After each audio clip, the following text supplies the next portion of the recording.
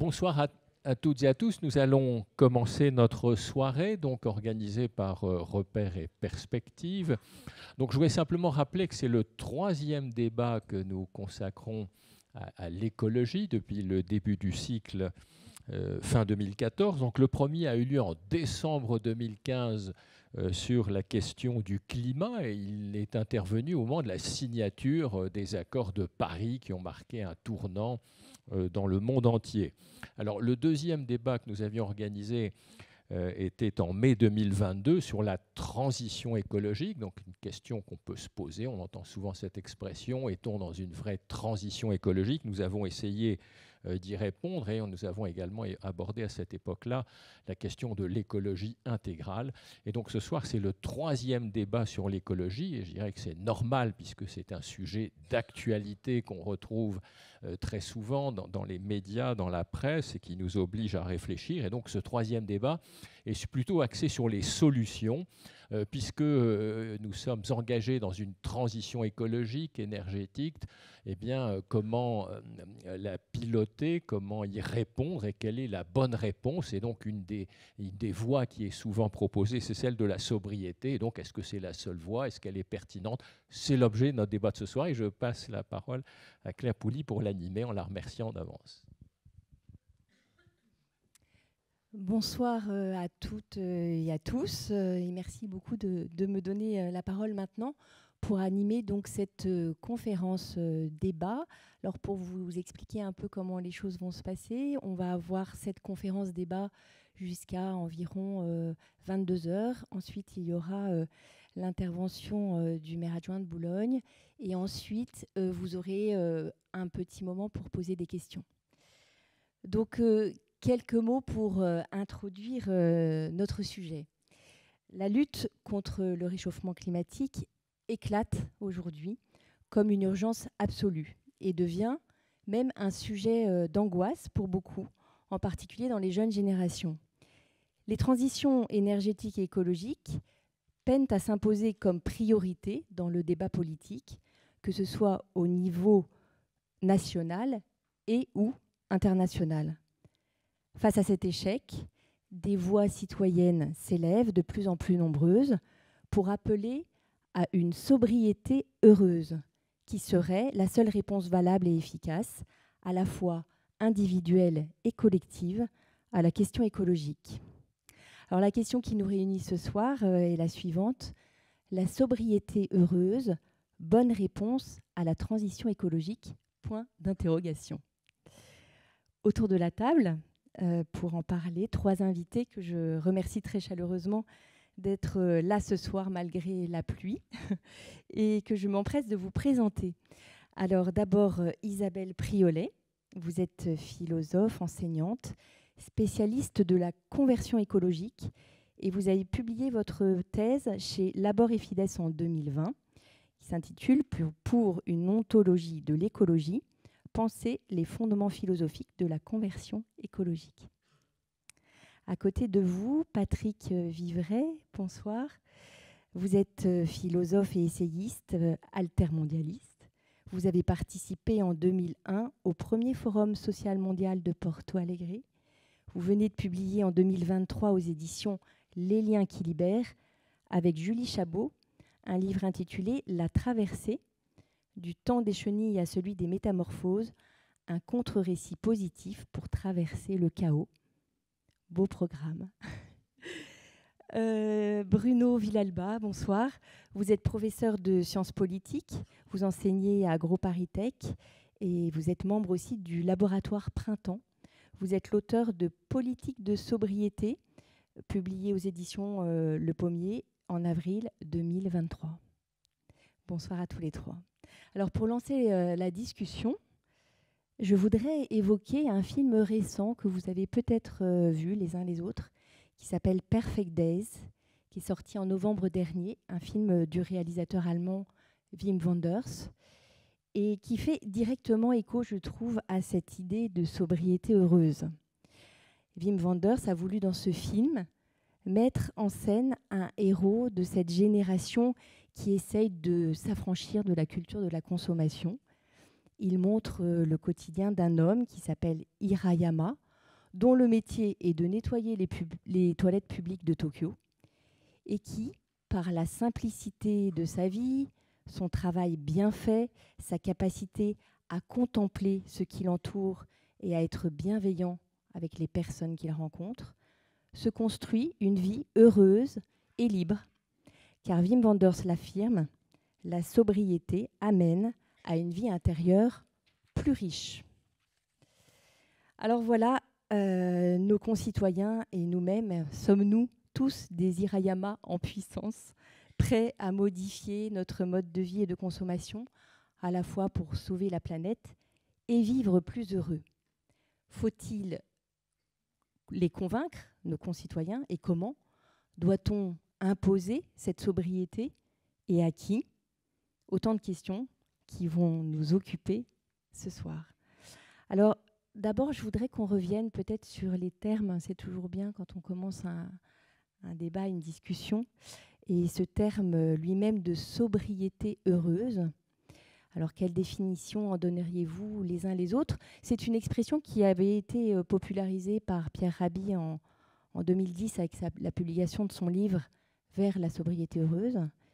Euh, mais je crois, et je me tourne vers vous, Patrick Vivray, que vous en avez été à l'origine de cette euh, expression et à la suite d'un rapport à la fin des années 90. Est-ce que vous pouvez nous en dire un peu plus? Euh, alors, le, rapport euh, sur la, une autre approche de la richesse, oui, il y a, un lien direct. L'expression de, sobriété heureuse, il se trouve qu'avec Pierre Rabhi, avec qui j'ai beaucoup travaillé par ailleurs, euh, j'avais eu l'occasion, mais dans un petit cercle à l'école nationale d'agriculture d'Angers, de faire justement une conférence sur ce thème et une petite brochure en, était sortie. Mais comme je vous le disais au téléphone, j'ai aucune revendication, ni d'antériorité, ni de propriété euh, sur, euh, sur ce terme. Simplement, ce qui est important, pour rentrer davantage dans votre euh, question, qui est pourquoi, pourquoi ce, ce terme, en se souvenant que c'est un terme qui était quand même dans le contexte de l'époque, d'il y a une vingtaine d'années, c'est-à-dire dans une situation où on essayait au maximum d'être du côté de l'alerte, de la prévention et d'une perspective de transition.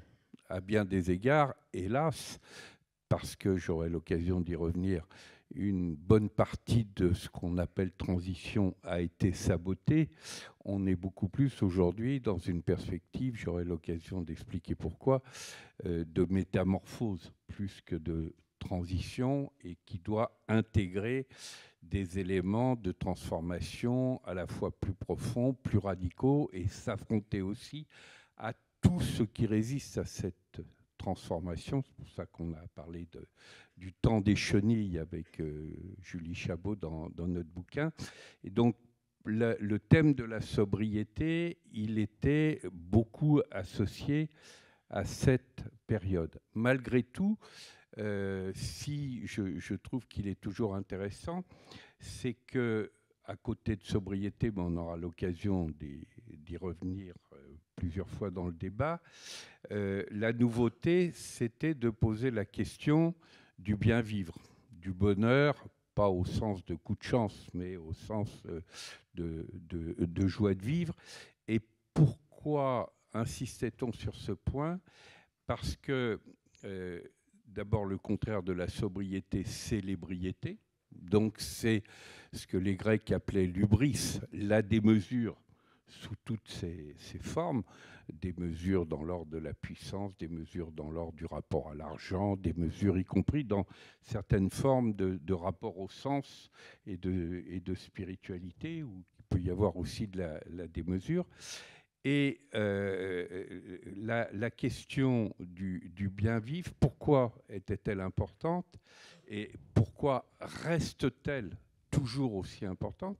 C'est que il faut bien voir, et je m'appuie sur ce point, sur un rapport des Nations Unies qui a été confirmé à certains égards, aggravé au cours des 20 dernières années, sur le fait que nous vivons beaucoup les conséquences d'une économie mondiale, du mal-être et de la maltraitance. Hein. À l'époque, le programme des Nations Unies pour le développement avait mis en évidence que par rapport aux sommes qui seraient nécessaires pour répondre aux besoins vitaux de l'humanité, la nourriture, l'accès à l'eau, aux soins de base, au logement, à une éducation de base, etc., les sommes qui étaient dépensées chaque année dans la drogue, la toxicomanie, l'armement et la publicité représenteraient plusieurs dizaines de fois les sommes qui seraient nécessaires pour répondre à ces besoins vitaux.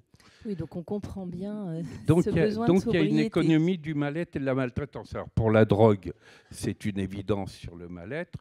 Sur les dépenses d'armement, c'est une évidence sur la maltraitance.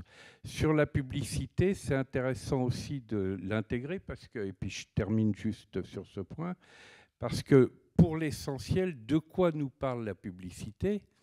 À la différence de la réclame euh, que moi j'ai connue quand j'étais gamin dans les années 60, la publicité, pour l'essentiel, elle ne nous parle pas des objets. Elle nous parle de bonheur, de beauté, d'amour, etc. Et elle nous fait acheter des biens de consommation par le biais du désir, ce qu'on appellerait dans l'ordre philosophique plutôt dans l'ordre de l'être que dans l'ordre de l'avoir. Donc, Oui, donc- on est au cœur de ce que Blaise Pascal appelait la question du divertissement. Oui, la société de consolation finalement. Et oui, que quand la consommation devient une consolation, une société de consolation, c'était un des thèmes justement que j'avais repris aussi dans mon rapport sur la richesse. Et donc à partir du moment où, pour des raisons écologiques, nous n'avons plus la possibilité d'être dans le divertissement, de passer notre temps à compenser les effets de mal-être et de maltraitance par de la surconsommation, ben, à ce moment-là, la question non seulement de la sobriété, mais la question du bien vivre comme alternative au mal-être et à la maltraitance devient à ce moment-là déterminante. Alors moi, je voudrais rebondir sur ce que vous aviez dit. La sobriété euh, s'oppose à l'ébriété. Je me tourne vers, euh, vers vous, Isabelle Priolet. Tout ça, ça nous renvoie à Épicure, il me semble. Pour rebondir par rapport à ce que vient de dire Patrick Vivray, c'est que pour moi, la sobriété heureuse, en fait, c'est avant tout euh, quand la sobriété devient un désir. hein.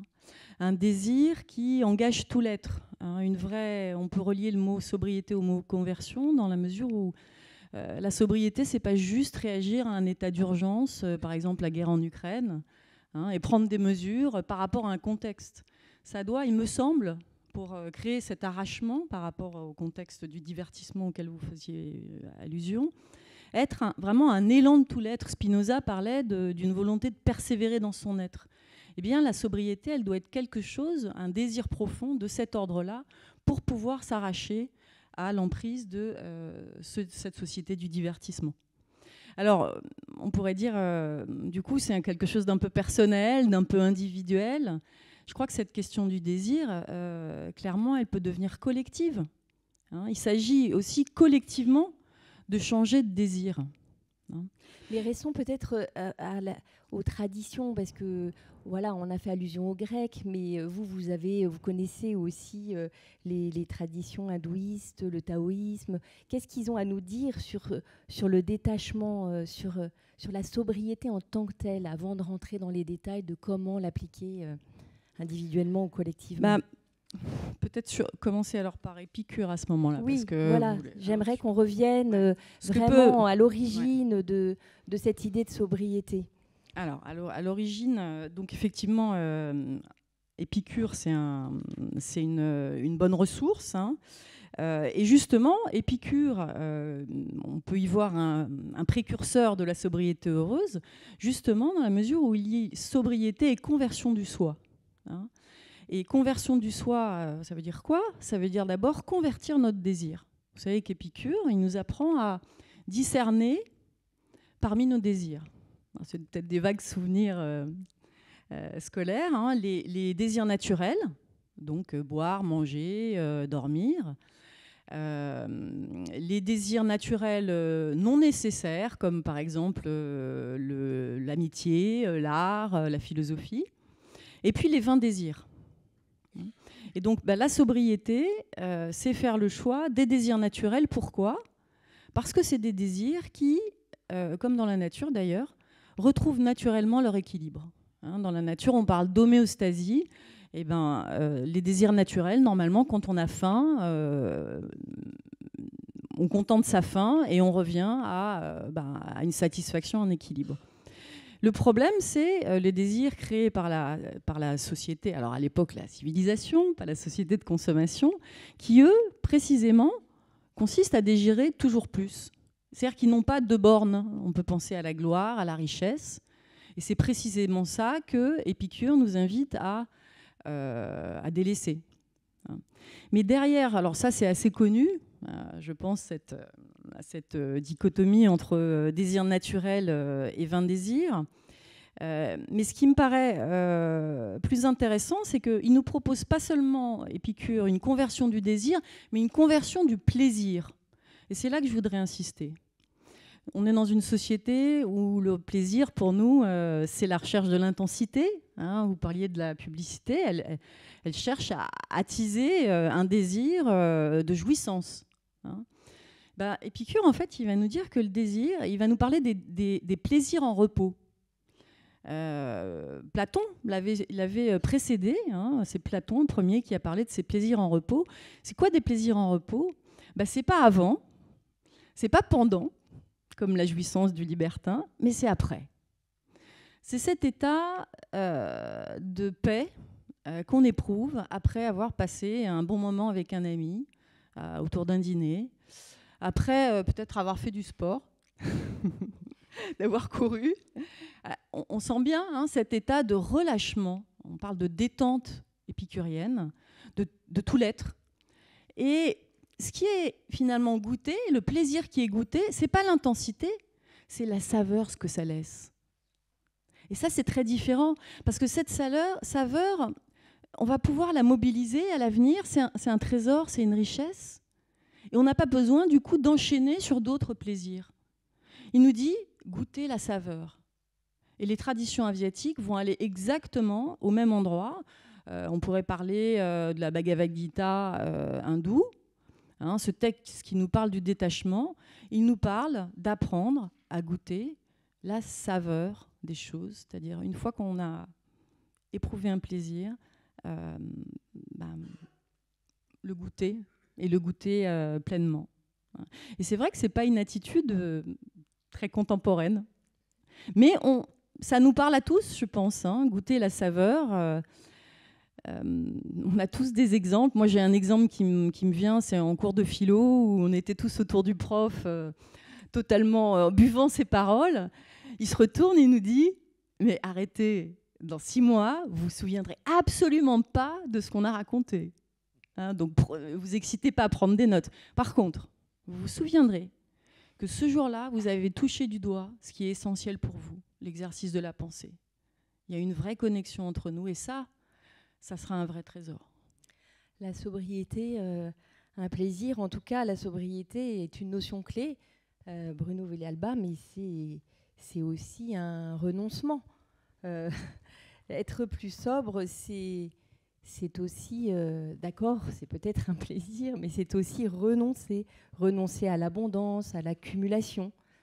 donc vous, vous avez une position peut-être un petit peu différente. Oui, j'ai pas une vision très positive de la sobriété euh, par principe. Euh, c'est-à-dire que ce que propose la, conséquence de la sobriété, puisque l'intention peut être louable, hein, euh, trouver une vie plus épanouissante à titre personnel, il faut être un peu idiot pour refuser cette vision-là.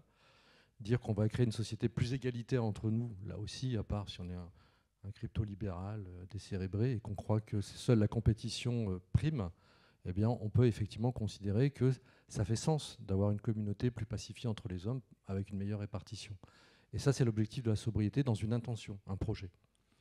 Ce qui est intéressant d'un point de vue de politiste, c'est mon boulot, c'est d'interroger les conséquences de ce projet et ce que ça va créer comme effectivement euh, de choix politiques, de priorités d'orientation des politiques et donc de contraintes sur le collectif. Puisque ce qui est intéressant dans, les deux visions qu'on a eues très rapidement de la sobriété, c'est que d'un côté, on a un référentiel de l'ajustement, c'est la modération, c'est les courants traditionnels de, qu'on va retrouver chez les épicuriens, les stoïciens, les, cyniques, euh, jusqu'à aujourd'hui euh, dans l'encyclique du pape Laudato qui a un texte remarquable sur cette question-là. Donc on a une continuité finalement où l'individu peut créer une cohérence face aux autres hommes, face à Dieu. C'est important aussi si on est croyant hein, et si on a une vision spirituelle des choses, par exemple. Et ça, c'est quelque chose qui, en fait, est une négociation avec la ressource. Euh, quand euh, saint Thomas dit euh, il faut avoir une juste mesure dans le rapport au vin, ça vient de là, hein, la sobriété, hein, c'est le rapport à, l'abondance et, à, quelque chose qui va vous faire basculer dans quelque chose qui est négatif dans le rapport avec les autres hommes.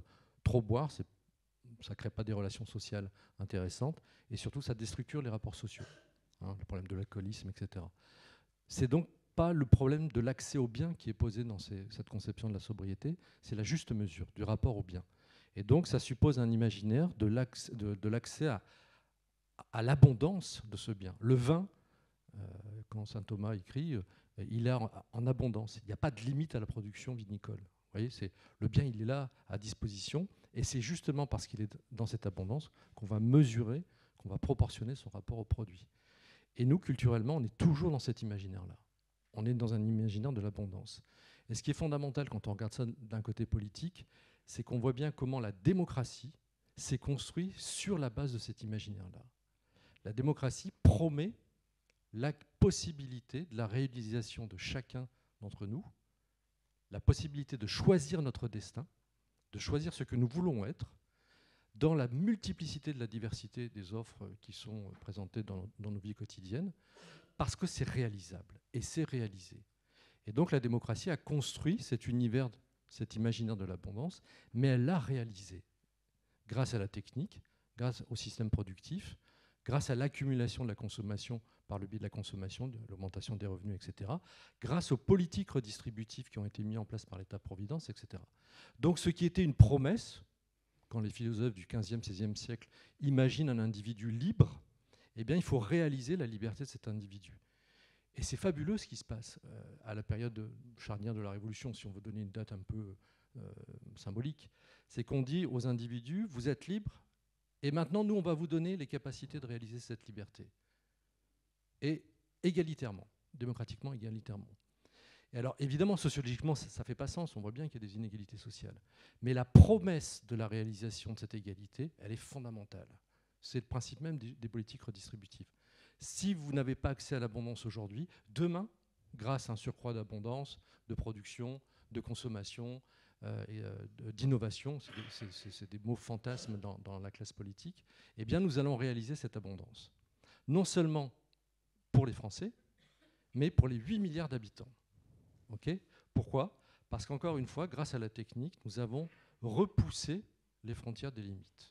Il n'y a pas de limite au système productif. Ouais, alors ce que vous, ce que vous euh, mettez en avant aussi, c'est que euh, voilà, la sobriété ne, ne, peut pas être heureuse du coup dans, dans, cette, euh, ah dans ce paysage. ça fonctionne bien si on, on est hors sol, c'est-à-dire si on considère que nous sommes une société dématérialisée de son rapport à la terre, au sol. et quand je dis le sol, c'est aussi les animaux, les non-humains, la biosphère, enfin bon voilà.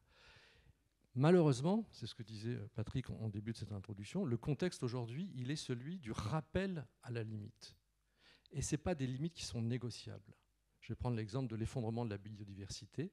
Chaque espèce qui disparaît, elle est irréversiblement disparue. C'est terminé. Chaque tonne de pétrole qu'on exploite, elle est irréversiblement disparue. Et c'est ça la limite. Et nous, nous continuons à imaginer, vous voyez, un modèle productif qui va puiser continuellement dans les ressources en se disant, bon, grâce à l'innovation technique, on va pouvoir repousser les limites. Ben non, malheureusement, il y a le retour du bâton de cette exploitation forcenée euh, des limites. Et ce qui est intéressant dans la sobriété, vous voyez bien que c'est un rappel à la norme, mais contrainte. Ce n'est pas moi qui vais choisir d'être vertueux. C'est les limites planétaires qui vont m'imposer cette contrainte de la négociation des limites, à condition, à condition de vouloir répartir les richesses qu'il reste encore équitablement sur la planète. Si on ne fait pas ça, si on ne se contraint pas collectivement à renoncer à cette accumulation, euh, qui est possible, hein, qui est réalisable, hein, euh, si vous en avez les moyens économiques, eh bien, euh, cette contrainte, elle va générer de plus en plus de violence. Et l'intérêt de la sobriété, c'est que c'est un renoncement qui est lui-même une espèce de violence à cet imaginaire de l'abondance. Et donc, vous voyez, on sort dans un imaginaire tout est possible à un imaginaire où nous allons devoir hiérarchiser les priorités, les choix que nous pouvons encore effectuer. C'est pour ça que ça ne peut pas être fondamentalement heureux. Alors, beaucoup de choses dans, ce que vous avez dit. Moi, je retiens qu'on n'est pas hors sol. Alors, il y, en a un, y en a un qui était vraiment euh, les pieds sur la terre, c'était Pierre Rabhi. Et donc, je me dis, euh, qu'est-ce qu'il a apporté, lui, euh, de plus qu'Épicure dans, dans, cette, idée de sobriété heureuse? Qu'est-ce qu'il apporte, Isabelle Priolet? Bah, il, apporte, sa modernité, même si on, doit, on a une dette vis-à-vis de ces philosophes épicuriens. Bah, le, premier aspect que je vois, c'est que euh, les épicuriens, c'était les philosophes du jardin. Hein. Donc ils étaient un peu dans leur tour d'ivoire, ils vivaient entre pairs. Donc la question, euh, effectivement, du collectif, elle ne se posait pas vraiment euh, à l'époque.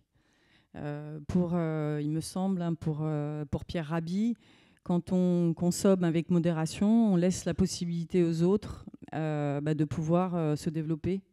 Donc il y a une dimension euh, politique évidente hein, chez Pierre Rabhi. les rapports Nord-Sud, il a vécu beaucoup au contact hein, des, pays du Sud.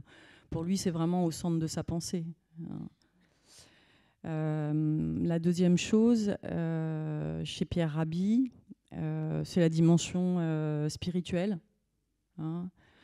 Euh, il parle beaucoup hein, du, du, miracle de l'instant, du miracle de la vie. Donc euh, ça, c'est très, très, très présent chez lui. Euh, il y a peut-être une troisième chose qui me vient plus à l'esprit, mais je crois que je Mais puisque vous parlez de, de, spirituel, moi j'aimerais que vous reveniez sur, sur votre idée, parce que vous, vous ne parlez pas de transition écologique, mais vraiment de conversion. Mhm. écologique. Et pour le coup, c'est un terme qui fait référence euh, euh, à la fois au spirituel euh, et à l'individu, à l'individu qui se convertit. donc se convertir à l'écologie, c'est quoi? C'est reprendre les rênes de sa destinée, c'est, ça relève aussi de la vie intérieure? Oui, alors c'est l'idée que, j'avais sur la langue, mais vous me la faites métanoïa, à coucher. Euh, je crois que pour Pierre Rabhi, euh, il y a aussi l'idée que bah, quand on est dans la sobriété, on dégage du temps pour autre chose. On dégage du temps euh, quand on n'est plus obsédé par le shopping, par voilà, tout ce qui nous divertit. On dégage du temps pour, pour, pour contempler, pour aimer, pour nourrir notre véritable nature. Et je voudrais faire un rapport avec le pape François qui nous dit les déserts extérieurs croissent car les déserts intérieurs sont immenses ou grandissent. Hein. Il fait précisément un lien. Pourquoi on va euh, chercher à... Pourquoi est-ce qu'on on, pille la planète? C'est parce qu'on n'arrive précisément pas à puiser à l'intérieur de nous de quoi nous satisfaire. Hein? Eh bien, la sobriété, elle nous préserve du temps, c'est les paroles de, Pierre Rabhi, hein, pour euh, être pleinement humain. Et le pape François est très dur, en fait, il dit, euh, euh, cette société, elle nous détourne de notre humanité, de notre nature profonde. Il y a quelque chose en nous, de l'ordre de la contemplation, qui demande à être épanoui si on veut être vraiment humain. Donc voilà, je pense que les deux discours se font un petit peu écho. Patrick Vivray, vous, vous, vous, parlez pas, vous ne parlez pas de conversion, vous parlez de métamorphose. Mais bon, c'est un petit peu du même ordre ou, ou il y a une nuance?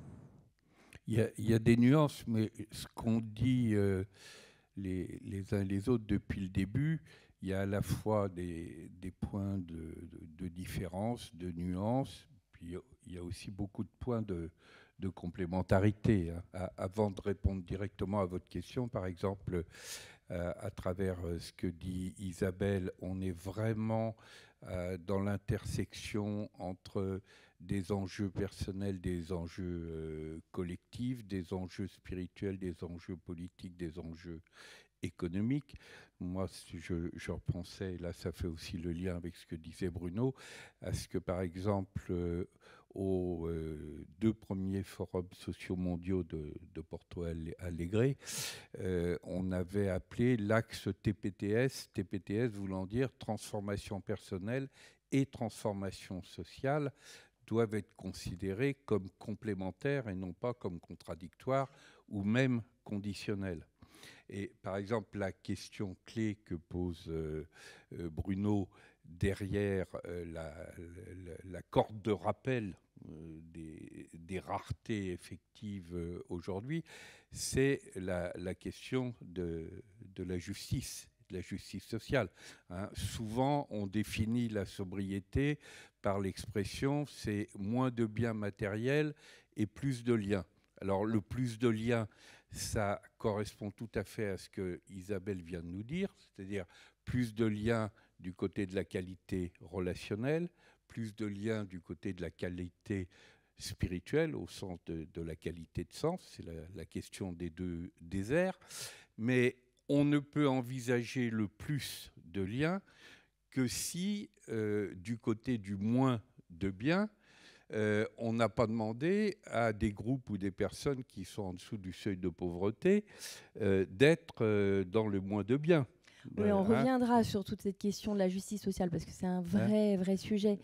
Mais c'est vrai que. Alors, je, peux faire le lien avec la métamorphose. Oui, parce qu'en en fait, quand même, métamorphose, c'est quand même un terme euh, quand même particulier. On est, on est des espèces de chenilles, on doit devenir papillon quand même dans votre histoire.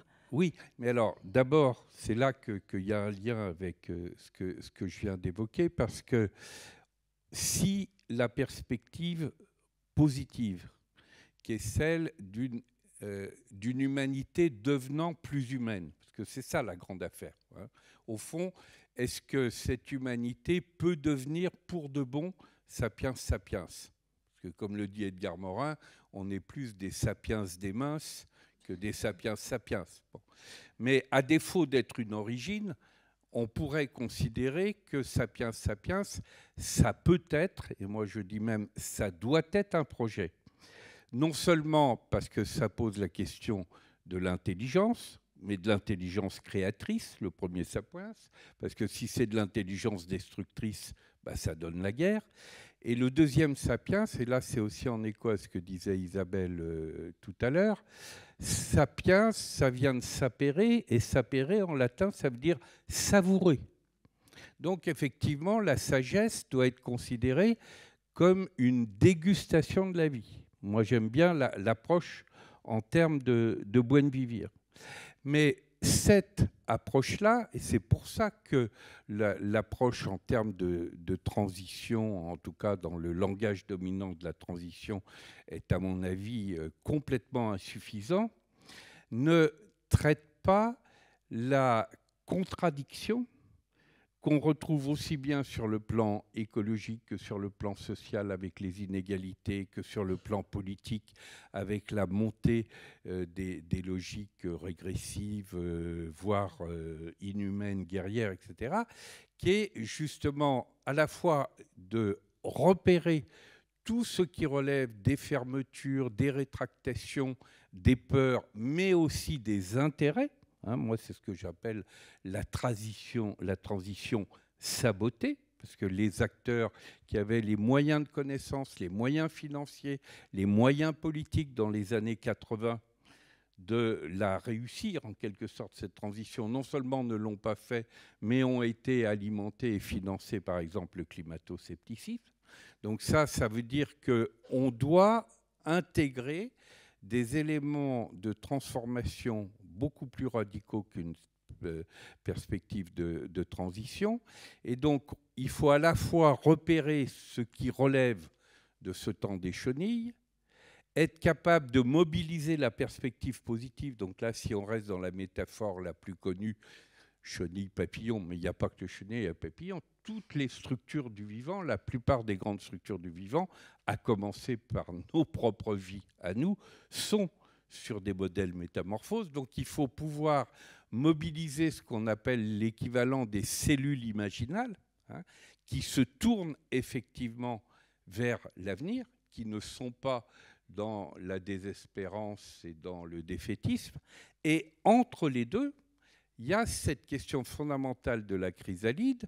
Or, si vous ouvrez un cocon, bah, vous avez l'impression que c'est de la bouillie. Donc c'est la question du chaos. Mais comment faire en sorte que ce chaos ne soit pas un chaos destructeur, un chaos régressif, mais un chaos créateur? Et c'est en ce sens-là qu'on peut dire que raisonner en termes de métamorphose, mais à tous les niveaux, aussi bien à l'échelle personnelle qu'à l'échelle sociétale, qu'à l'échelle politique, à l'échelle spirituelle, qu'à l'échelle économique, qu'à l'échelle euh, démocratique, etc. Vous voyez, c'est pour ça que je trouve intéressant de, reprendre cette approche qui, n'a rien d'original, hein, parce que c'est comme ce qu'on disait à propos d'Épicure, hein, le thème de la métamorphose, il nous vient euh, de très loin, et, notamment des Grecs, mais je trouve que c'est intéressant de penser les, défis de la période actuelle dans ces termes-là, parce que ça nous pense, permet aussi de penser, vivre, agir euh, en articulant des éléments qui vont de l'intime au planétaire. Que les chenilles, nous les avons en, en, nous, dans nos peurs, dans nos rétractations, dans nos refus de, de bouger.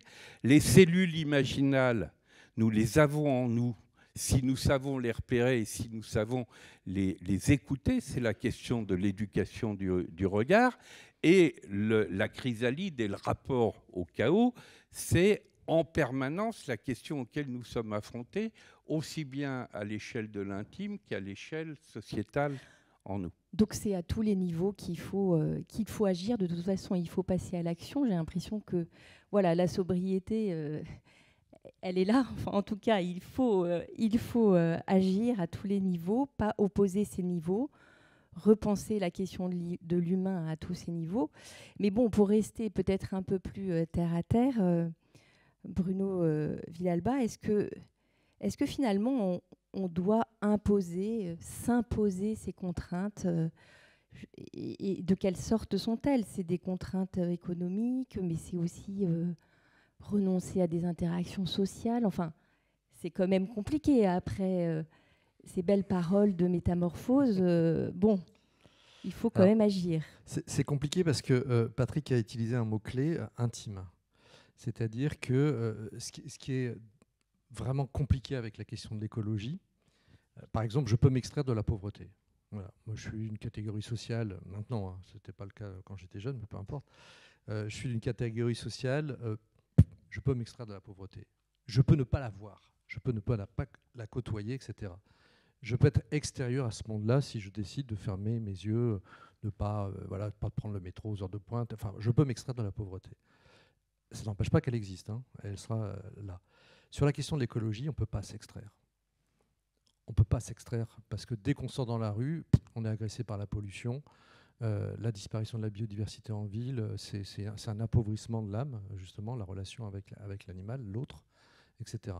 Et donc, ce qui est passionnant quand on travaille sur la question de l'écologie, c'est la multiplicité des interactions que chaque question soulève dans notre intimité. Et ça, c'est à la fois passionnant et un peu bouleversant parce qu'on se dit par quel chemin on va arriver sur cette trajectoire de sobriété? Parce que dès lors qu'on a dit qu'il fallait être sobre, tout à l'heure je disais les conséquences, bah, ça veut dire que toutes nos dimensions sociales vont être impliquées. Euh, on fait souvent cet exercice avec les étudiants, c'est assez rigolo. Euh, alors, moi, j'ai plutôt la chance d'avoir des étudiants passionnants et, investis sur les questions d'écologie, donc c'est facile de travailler avec eux.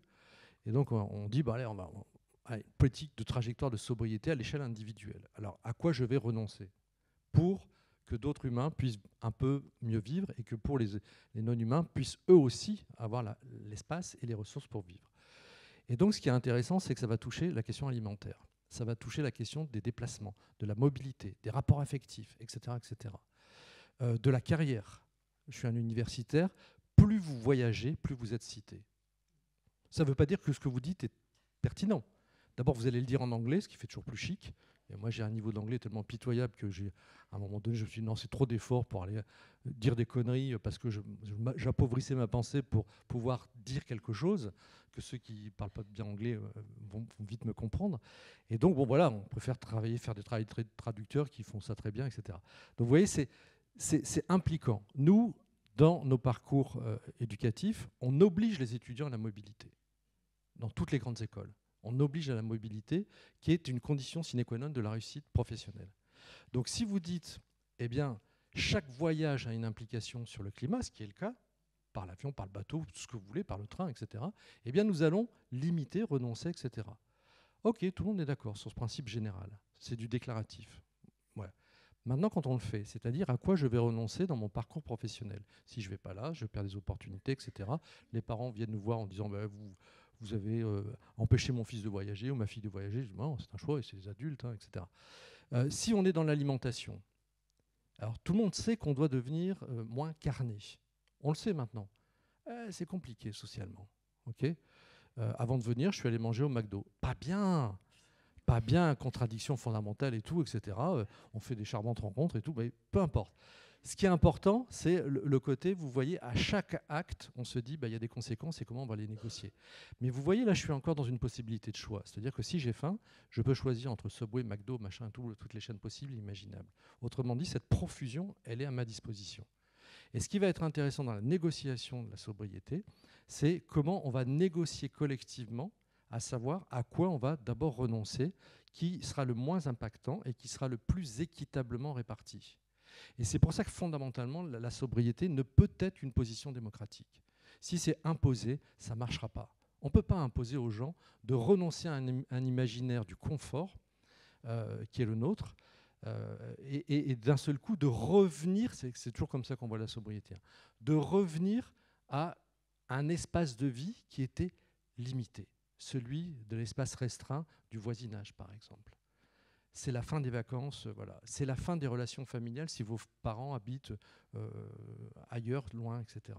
Et donc, ce qui va être intéressant, c'est comment on va négocier ça, non pas simplement en se disant bah, l'univers de l'illimité, mais par rapport à quelque chose qui va être un cadrage écologique. On va négocier nos choix de société, non pas par rapport à ce que l'on aspire à être, mais par, par rapport à ce qui est réalisable de faire. Pour nous et les générations futures. Dans le bouquin, je fais de la pub, hein, vous voyez, subliminal, c'est pas bien de faire de la publicité et tout. Euh, j'explique, c'est ce qu'on appelle la théorie du sablier. C'est un, truc très courant dans, les, dans les, explications écolo. Mais ce qui est vachement intéressant quand on reprend un peu sérieusement cette théorie du sablier, c'est que si on se dit on se projette dans un avenir, aller à 100 ans, eh bien dans 100 ans, on liste les ressources matérielles qui ne seront plus à notre disposition. Et il y a des trucs assez simples. Le sable. On n'aura plus de sable de construction. On n'aura plus de cobalt. On n'aura plus de lithium. On n'aura plus ceci, etc. Et donc, nous disons aux générations futures, si nous ne sommes pas sobres aujourd'hui, c'est-à-dire si nous limitons nos usages sur ces, ressources-là, vous allez devoir trouver des solutions technologiques pour 10 milliards d'habitants, pas 8 mais 10, ok plus des habitants qui sont très vieux, donc ça va aussi de, ouais, pression sociale, etc., etc. Solutions de santé. Solutions de santé, bah, c'est beaucoup de matériel médicaux. Beaucoup de matériel médicaux, c'est beaucoup de ressources rares, etc. Vous voyez la chaîne. Et donc là, vous dites aux générations futures, allez, imaginez des dispositifs techniques sans cobalt, sans lithium, sans pétrole, sans carbone, euh, sans euh, euh, charbon, sans lithium, sans sable, etc., etc. Comment vous faites les générations futures? Si je comprends bien, il faut quand même de l'information, de l'éducation pour que les gens s'imposent mettre en débat eux-mêmes des contraintes. Savoir que si on fait le choix de la sobriété qui est nécessaire, eh bien, c'est effectivement mettre en débat ce à quoi on va devoir euh, renoncer collectivement. Et ce qui est vraiment intéressant, c'est que ce n'est pas du tout une régression démocratique. La démocratie, c'est gérer le conflit. C'est son objectif. Voilà. On n'est pas d'accord sur la vision de l'avenir, etc. Et donc, on vote à gauche, on votera à droite, on votera à l'extrême droite, etc. etc. C'est le cadre démocratique. Mais vous voyez bien, là, c'est l'alternance des choix politiques qui relance la machine à l'imaginaire de plus de, croissance, plus de croissance verte, plus de croissance bleue, mauve, comme vous voulez l'appeler, etc. Là, ce qui va être intéressant, c'est qu'on va négocier entre nous. Euh, ce n'est pas simplement sur l'axe gauche-droite, mais c'est sur l'axe écolo-abondance. Je termine par un petit chiffre qui, m'amuse toujours. Euh, euh, au début du XXe siècle, il y avait combien d'objets dans une maison? En moyenne, hein, bien évidemment, c'était inégalement réparti. En moyenne d'objets. Tout, hein, cuillère, casserole, euh, vêtements, euh, etc. 300. 300. 300. Et c'était déjà pas si mal. Hein. On est déjà après au bonheur des dames de, Zola, etc. Aujourd'hui, c'est combien? 10 000. Faites le compte. Je me suis amusé ça dans ma cuisine, j'ai renoncé hein, à compter tout ce qu'il y avait dans ma cuisine. Allez, fais, le test, amuse-toi. Oh, c'est chiant. Vous regardez les chambres d'enfants, c'est hallucinant. Les, personnes qui sont ici, euh, qui, sont un peu plus âgées, savent que, bon, euh, les gamins, ils avaient 3-4 jouets, ça se transmettait en plus. Maintenant, vous allez transmettre la Game Boy à l'enfant qui vient, le, 15e, là, il, va refuser. D'abord, ça sera obsolète et tout. Donc, vous voyez les, la, profusion passer de 10 000 objets. Et si maintenant on dit, eh bien, il faut revenir à 300 objets pour que les 8 milliards d'habitants puissent au moins avoir tout le monde 300 objets. Vous voyez? Ça va être difficile la négociation. Si on n'est pas intimement convaincu, c'est vraiment un mot-clé, si on n'est pas intimement convaincu que les limites planétaires s'imposent comme le cadrage du débat politique, bah la sobriété, ça ne sert à rien. Ça restera une aspiration euh, simplement intime et personnelle, ce qui est déjà pas si mal. Hein. Alors à ce niveau du débat, moi, il y a une question qui, m'intéresse, que j'aimerais vous poser à chacun euh, d'entre vous, c'est que finalement, voilà, on a compris que vous étiez euh, tous les trois fermement euh, fermement convaincu, euh, engagé euh, dans cette idée de sobriété. Mais j'aimerais savoir, dans votre expérience personnelle, comment vous vous êtes converti à la sobriété l'un et l'autre? Parce qu'il y a des déclencheurs quand même au niveau individuel. Comment, comment les choses sont, sont venues? Je vais raconter des histoires. ça va être un peu intime, mais peut-être que c'est authentique en fait. Euh, moi, je suis née dans un milieu ouvrier, euh, donc voilà, ce n'était pas un problème, hein, parce que j'étais à l'intérieur et que j'ai fait des grandes études et que tout s'est très bien passé pour moi. Mais c'est vrai que j'ai vécu euh, vraiment sous contrainte. Hein. On mangeait des yaourts nature, on regardait tout, tout, tous les prix. Enfin, c'était et c'est pour ça que je crois que je suis partie dans le ciel des idées, parce que j'en avais un peu marre de d'être au niveau tout le temps du matériel. Et, je me suis mariée en plus avec, euh, en école de commerce avec euh, un monsieur qui a pas mal d'argent, qui travaille dans la finance. Donc j'ai fait une espèce, d'ascension sociale. Et pour moi, c'est vraiment une grande fierté et c'est vraiment archi important euh, de pouvoir me dire, je suis capable de revenir à ce que j'ai vécu avant. Et je le fais régulièrement. En fait, je vais donner des cours à Lyon, à la Cato de, à la Cato de Lyon, des cours sur l'écologie et la conversion écologique. Et, euh, je dors dans une, euh, dans une euh, congrégation religieuse, vous savez, ces petites chambres un peu monacales. Et j'éprouve un plaisir, mais dix fois plus important que si j'étais dans un hôtel 5 étoiles. Ce plaisir de toucher du doigt la simplicité et toucher du doigt le fait que c'est pas tant les meubles, le bureau, mais ce qui se diffuse dans cette congrégation, c'est-à-dire la présence des sœurs, la présence euh, d'un jardin, vous savez, les jardins, des couvents sont souvent euh, magnifiques, euh, la présence de Notre-Dame de Fourvière, bah, tout ça, pour moi, je suis capable d'en vivre et, beaucoup mieux que dans un hôtel 5 étoiles. Et je fais régulièrement l'expérience. Je suis assez contente. Je pense à mon papa qui est décédé. Et je pense qu'il me regarde et je pense qu'il est content que je puisse encore être contente d'être dans des conditions pareilles. Alors, bon, mon, mon, cas à moi n'est pas très intéressant, mais euh, je crois que des gens comme euh, Henri David Thoreau, je ne sais pas si vous connaissez Valden ou La vie dans les bois, euh, c'est des gens qui peuvent nous. Enfin, moi, qui m'ont donné envie de la sobriété. J'ai une maison dans le Perche. Et donc, on, est vraiment en pleine brousse, entouré de vaches, il n'y a absolument personne, et des forêts tout autour. Euh, ce, que nous, ce que nous apprend Taureau, c'est qu'en fait, quand la sobriété, c'est aussi une affaire de contexte quand même. Hein? Euh, quand on se retrouve dans un contexte de nature, qu'est-ce qui se passe? Je sais pas vous, hein, mais moi, au bout de trois jours, je me resynchronise avec mon environnement je vis au cycle, euh, je, vis au gré euh, bah, du cycle de la journée. Euh, je suis en train de travailler, mais je sors et ma journée est ponctuée. Elle est remplie en fait de tout ça. Euh, le leitmotiv de Thoreau, c'était simplifier, simplifier. Mais on ne peut pas simplifier, simplifier quand on est euh, dans une vie de dingue et, avec des contraintes et complètement dans son mental en permanence. On peut simplifier, simplifier quand on a quelque chose en contrepartie à appréhender, quelque chose d'ordre euh, certain palpable et spirituel. Mais, mais, je crois que c'est ça la condition de la, conversion à la sobriété heureuse, c'est qu'il faut être plein d'autres choses en fait. Euh, sinon, je vois pas comment ça peut marcher. Sinon, c'est du renoncement euh, malheureux qui fait mal. Mais je crois qu'on peut tous vivre ce genre d'expérience, enfin, il me semble. Réaffirmer la, valeur de, de, la simplicité. Alors, je ne sais pas si l'un ou l'autre voudrait euh, aussi témoigner de son expérience personnelle. Parce que c'est très éclairant, je trouve, d'avoir des, des, vrais parcours, des parcours de vie comme ça. Moi, honnêtement, la question la plus difficile, je ne la ressens pas comme étant du côté de la sobriété. Je la ressens du côté de la justice et du côté de la liberté. Hein.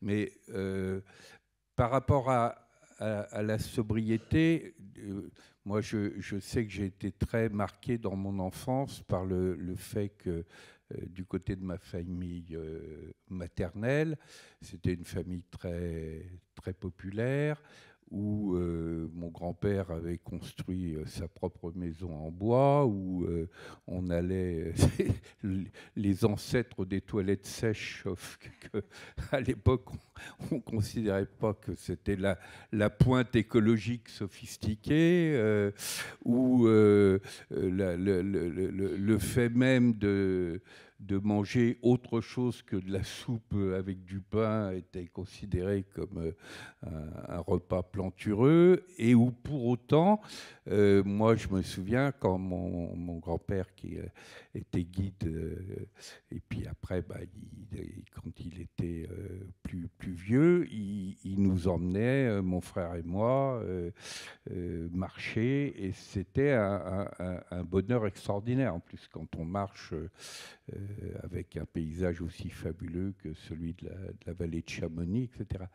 Et donc, oui, effectivement, pour toutes les raisons qu'évoquait euh, Bruno, euh, entre-temps, j'ai fait comme tout le monde et je j'ai jamais compté mes, mes, objets, mais effectivement, il n'y a pas de raison que je sois à part.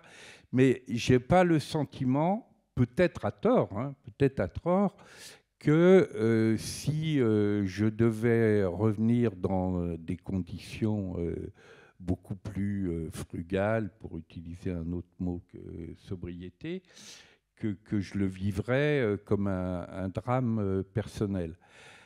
Sous une condition qui est que dans ce que j'ai appris, et parce que la, toute la chance que j'ai eue dans le milieu familial que j'ai connu, c'est que c'était un milieu qui était très marqué par la solidarité. Et quand on, se pose la, question de certaines formes de renoncement, mais qu'on est dans un rapport à la solidarité et au sentiment de, de justice, à ce moment-là, c'est pas du tout la même chose que si le renoncement est accompagné d'un sentiment d'injustice et d'une bataille du, chacun pour soi. Donc c'est pour ça que pour moi, la, question la plus difficile, c'est d'un côté la question de la justice et de l'autre côté la question de, de, la liberté et de la démocratie. Parce que je sens bien monter le fait que, au nom des éléments de rareté de plus en plus euh, réel qu'évoque euh, Bruno, eh bien, on va avoir des euh, propositions qui seront de nature autoritaire. Et ça, là, pour le coup, je le ressens très mal. Moi, s'il y a bien quelque chose auquel je ne veux renoncer à aucun prix, c'est tout ce qui relève de ma liberté. liberté, de, conscience, liberté euh, euh, de, mouvement, d'opinion, liberté de, changer d'avis, donc de me tromper, etc. Bon. Et, là, je, je pense qu'il y a un défi qui est considérable et qui est un défi pour la démocratie elle-même. Si, je peux me permettre cette, euh, cette passerelle-là, dont on n'a pas encore suffisamment parlé, parce que le, modèle démocratique tel qu'il s'est constitué historiquement, il a à la fois partie liée avec ce que disait Bruno sur les promesses d'un accès à la prospérité, mais lié à de la croissance, donc un modèle, en gros le modèle socialiste, social-démocrate, c'est-à-dire on vous promet de la justice sociale, de l'égalité, ou en tout cas une promesse d'égalité, mais liée à de la prospérité matérielle. Et l'autre élément clé, et là donc on voit bien la remise en cause de ce côté-là, mais l'autre élément clé, c'est que la démocratie a pris la forme dominante de l'élection et de l'élection compétitive. C'est une question vraiment importante. Hein. Là aussi, quand on, travaille avec les étudiants sur la question de la sobriété euh, et qu'on revient à cette question de l'intime, euh, c'est des trajectoires de vie. En fait, pourquoi il y a une petite musique qui fait qu'on se dit il y, a un truc qui colle pas dans ce qui est en train de se produire actuellement, ça colle pas. Euh, les espèces qui disparaissent, la raréfaction des ressources, la pression de, nos modes de vie, etc. Bon, c'est pas parce qu'on a 10 000 objets dans notre maison qu'on est 10 000 fois plus heureux. Enfin, ça se saurait. Quoi. Et donc, il y, a une espèce de petite musique de, dissonance. Et ce qui va être intéressant, c'est euh, quand on travaille avec les étudiants, c'est pas de dire qu'il y a un, chemin vertueux facile. C'est-à-dire que eh bien, euh, nos modes de consommation, par exemple, sont des modes de consommation qui sont extrêmement plaisants. C'est euh, dans tous les phénomènes d'addiction, et la consommation quotidien, c'est un phénomène addictif. Tant qu'on ne prend pas en compte le phénomène du rapport au plaisir, on ne comprend pas que c'est difficile de renoncer à la relation avec un produit. Euh, ma femme travaille dans la, prévention des risques euh, addictifs.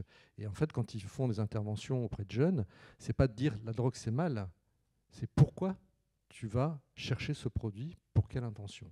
Et à partir du moment où on a fait ce cheminement-là, c'est plus facile de renoncer. Alors, moi, j'ai pas trop de mérite de travailler sur la sobriété, puisque depuis 1974, euh, si vous voulez être précis, c'était du catéchisme, et je remercierai jamais assez Madame Vasseur, à, à Montreuil-sur-Mer, pardon, dans le collège Saint-Ostrobert. C'était pas le collège Stanislas, hein, je peux vous assurer, euh, parce que c'était, on était au pensionnat et ça rigolait pas. Hein, enfin, Dieu.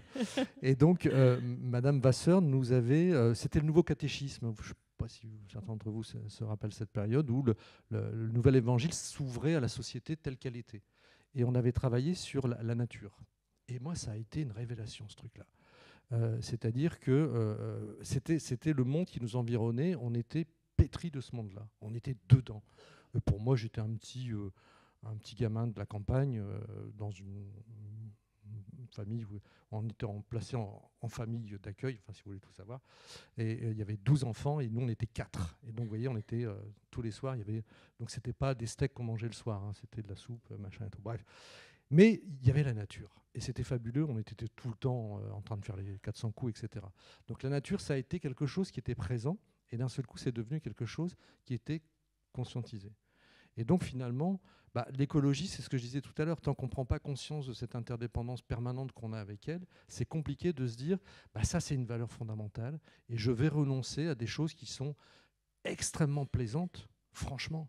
Les voyages qui... Euh, qui refusent euh, volontairement de renoncer au voyage, qui refusent volontairement la diversité de l'alimentation, qui refusent un, je, suis végétarien, mais je peux vous assurer que des fois que je, sens l'odeur du poulet rôti, parce que mes, mes enfants, c'est carné, là, ils continuent à manger de la viande et c'est moi qui cuisine et, je, sens.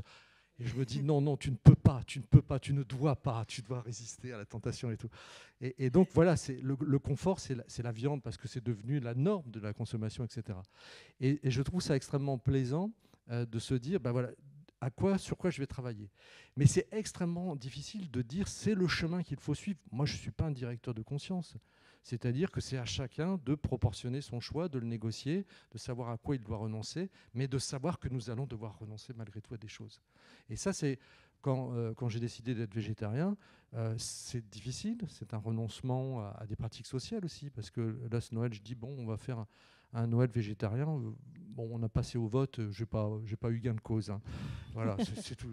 la démocratie s'est exprimée, je suis démocrate, je respecte la démocratie. un jour, je ferai un coup d'État domestique. Mais ce qui montre bien que voilà, on est dans une négociation. Et euh, je, trouve aussi intéressant euh, euh qu'on on peut avoir, comme dans euh, les processus addictifs, on fait des rechutes parce que justement, il y a des tas de facteurs de plaisir qui vont vous réinstaurer en disant, voilà, qui, lorsqu'il n'a jamais eu un petit mal, voilà, un, vague à l'âme, on va acheter un objet, on va acheter un CD, quand on en vendait, on va acheter quelque chose, et comme par hasard, on a une petite dose de plaisir qui, on sent un petit peu mieux. Et quand on en est privé, justement, c'est la misère ou la pauvreté, c'est un facteur de, drame personnel permanent. Et donc on voit bien, si moi je renonce, ben, je souhaite que mon renoncement, il serve peut-être à, certains, même si... Euh, voilà. Et la contradiction, c'est évidemment euh, de dire, ben, euh, c'est des, choses qui sont à la fois voyez, de l'intime, parce que je peux décider de renoncer, personne ne m'a imposé de, de devenir végétarien. Par contre, par contre, on va devoir nécessairement réduire drastiquement notre consommation de viande de l'intime au collectif. C'est ce que disaient Patrick et Isabelle. Quand je vous entends, j'entends aussi le, le, les, plus, enfin les, le positif dans cette contrainte euh, déterministe hein, qu'il y a. Euh, vous parliez du travail avec vos étudiants. On a l'impression que voilà, les jeunes étudiants, ils, ils sont, dans cette sobriété de manière peut-être plus plus, plus naturel, en tout cas, euh, voilà. Vous parliez d'entraide sociale, vous parliez de la question, la question du voisinage, vous parliez du respect par rapport au non-humain, votre relation à la nature. Donc tout ça, c'est peut-être euh, ce qui rend euh, cette sobriété heureuse. Alors, j'écoutais je, ce, matin la radio et j'écoutais, bon, il y avait Gérard Larcher, il disait, il ne faut pas que l'économie soit punitive. Il a répété ça au moins trois fois dans son l'écologie, l'écologie soit punitive. L'écologie ne doit pas être punitive, disait-il. Voilà, donc euh, euh, euh, peut-être qu'on pourrait reprendre, puisque cette question vous tient à cœur et c'est une question fondamentale, cette question de la justice sociale, parce que on peut, imposer, par, la collectivité, l'État peut, devant, devant l'urgence et la nécessité de cette sobriété, prendre des décisions euh, pour, pour, pour, pour, interdire un certain nombre de choses, pour faire des politiques tarifaires, etc. mais voilà, faut-il l'imposer à tous et à un niveau, alors ça c'est un niveau étatique, mais à un niveau international, peut-on imposer des, des, contraintes ou faut-il les ajuster au niveau de développement des pays? Peut-être Patrick Vivray, parce que vous, cette question vous tient à cœur? Je pense qu'elle nous tient à cœur à tous les trois. Mais le, le, le, petit lapsus à propos de Gérard Larcher, je crois qu'il est très fécond, justement, parce que, euh, comme l'a repris Bruno, l'économie, l'économie dominante telle qu'elle s'exerce, est une économie punitive. Hein quand euh, Oxfam, dans, ses différents euh, rapports, met en évidence euh, d'un côté que du côté des milliardaires, en trois ans, ils ont doublé leur capital ou leurs revenus, alors que la partie de la population qui est en dessous soit du seuil de pauvreté, soit des revenus médians, etc., a vu au contraire, euh, son pouvoir d'achat au sens global du terme baisser, c'est de l'économie punitive. Quand euh, j'étais récemment à l'Assemblée nationale dans un débat sur euh, le rapport entre l'économie sociale et solidaire et puis l'économie dominante, et je pense à Frédéric qui connaît tout ça par cœur, et l'un des députés qui était présent nous a dit oui, il y a quand même un problème, c'est que quand on regarde tout cumuler, les chiffres de subventions aux entreprises classiques sont de l'ordre de 140 milliards, alors que du côté de l'économie sociale et solidaire, elles se chiffrent en dessous des 100 millions, c'est euh, de l'économie punitive. Quand on continue à compter dans les colonnes positives de la comptabilité des activités, à commencer par les activités fossiles, qui sont notoirement nuisibles, c'est de l'économie positive. C'est pour ça que vous, vous évoquiez tout à l'heure l'économie punitive. Punitive. Ah, j'ai dit, oh, pardon. Décidément. Oui, les subventions sont positives, l'économie est positive. Donc, le, le, le, le, discours inverse de la part des partisans de l'économie punitive qui ne voudraient pour en aucune façon qu'on remette en cause ni les, inégalités euh, euh, sociales, les inégalités de revenus qui poussent des cris d'orfraie dès qu'on envisage euh, des taxations ou des impositions sur les plus grandes fortunes, etc. les cris d'orfraie qui poussent pour dire ah l'écologie est punitive et il ne faut rien faire sur ce terrain-là. Là, franchement, je pense que on est au comble de, l'hypocrisie. Et euh, moi, quand j'ai beaucoup travaillé sur d'autres approches de, la richesse, et là, au passage, ça fait le lien avec des questions que, vous évoquez, y compris sur le plan euh, spirituel, parce que si vous prenez, par exemple, la question de la comptabilité, qu'est-ce qui fait que nous avons des bénéfices dans, nos comptabilités? Question, euh, quand je discutais avec mes collègues de la Cour des comptes, ils ouvraient des grands yeux en disant bah, oui, il y, a des plus, il y a des moins. J'ai dit oui, mais c'est pas négligeable d'appeler ça bénéfice. Et même si on n'a pas fait de latin, benefacio, ça veut dire faire du bien, ça veut dire bien fait, ça veut dire activité bénéfique, ça ne veut pas dire solde monétaire. Euh, valeur, euh, dans toutes les langues latines, c'est de la force de vie. Donc des pertes, c'est de la destruction de force de vie.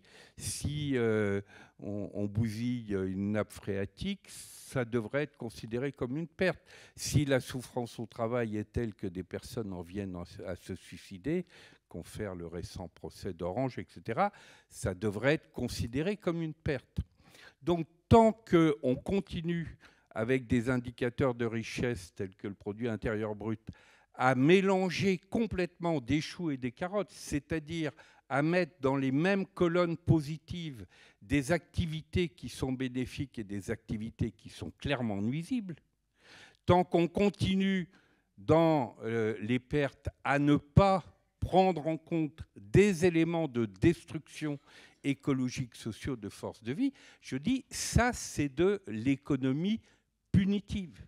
Et donc il n'y a de possibilité d'avancer sur ces questions-là, y compris toutes les questions encore qu'on a vues au moment des différentes euh, COP, euh, euh, COP 15 comme 16, et puis là maintenant on est à la COP 28, que si on s'attaque à la remise en cause de notre façon même de compter et qu'on revient à ce qu'on appelait à une certaine période la comptabilité du salut en lien avec l'économie du salut. Parce que c'est ça l'histoire.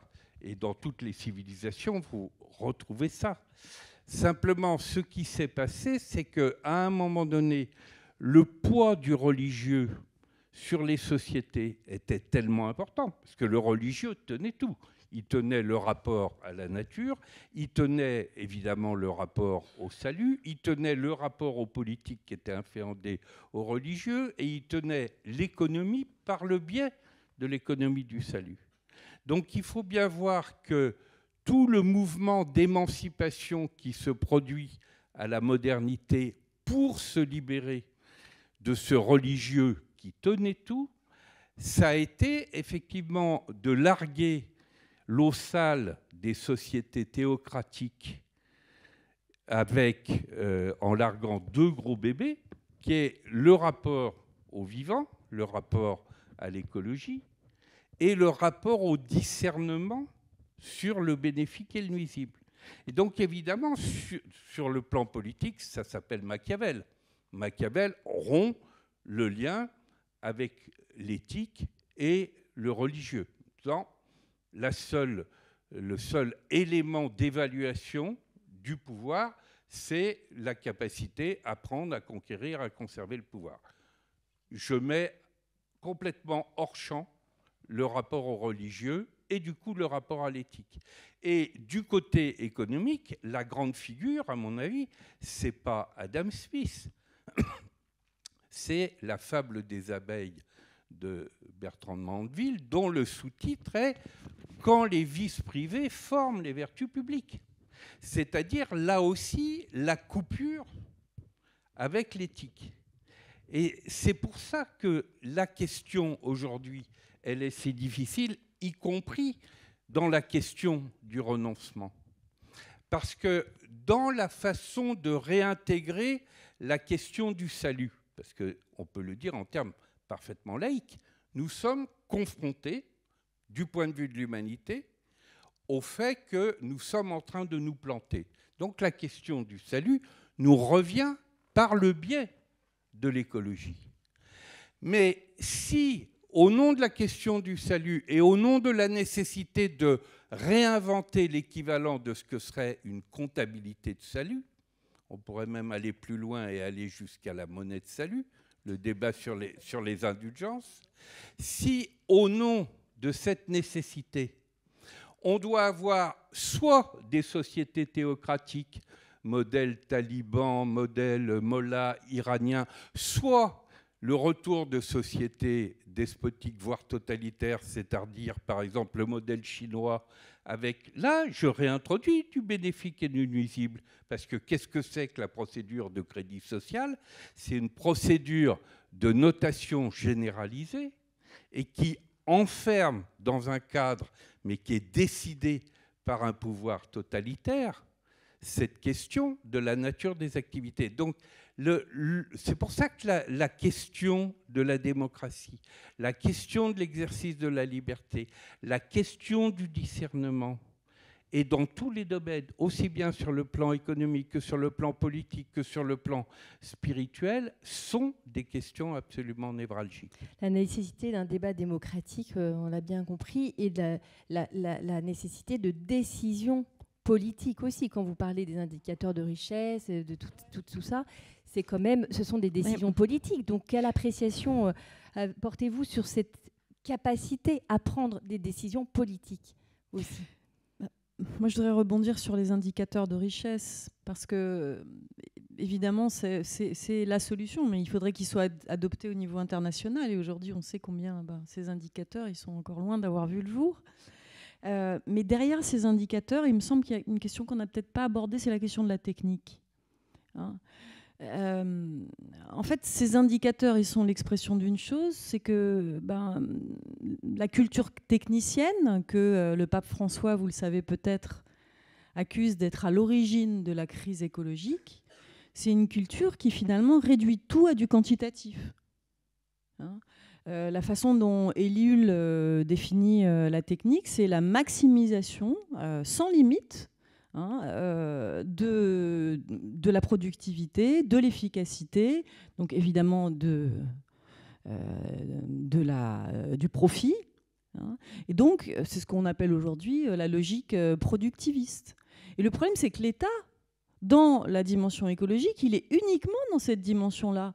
Quand on parle d'écologie, on parle de quoi? On parle de transition énergétique, on parle de faire passer euh, la part euh, du charbon de X à X. Euh. En fait, on réduit tout le discours à du quantitatif.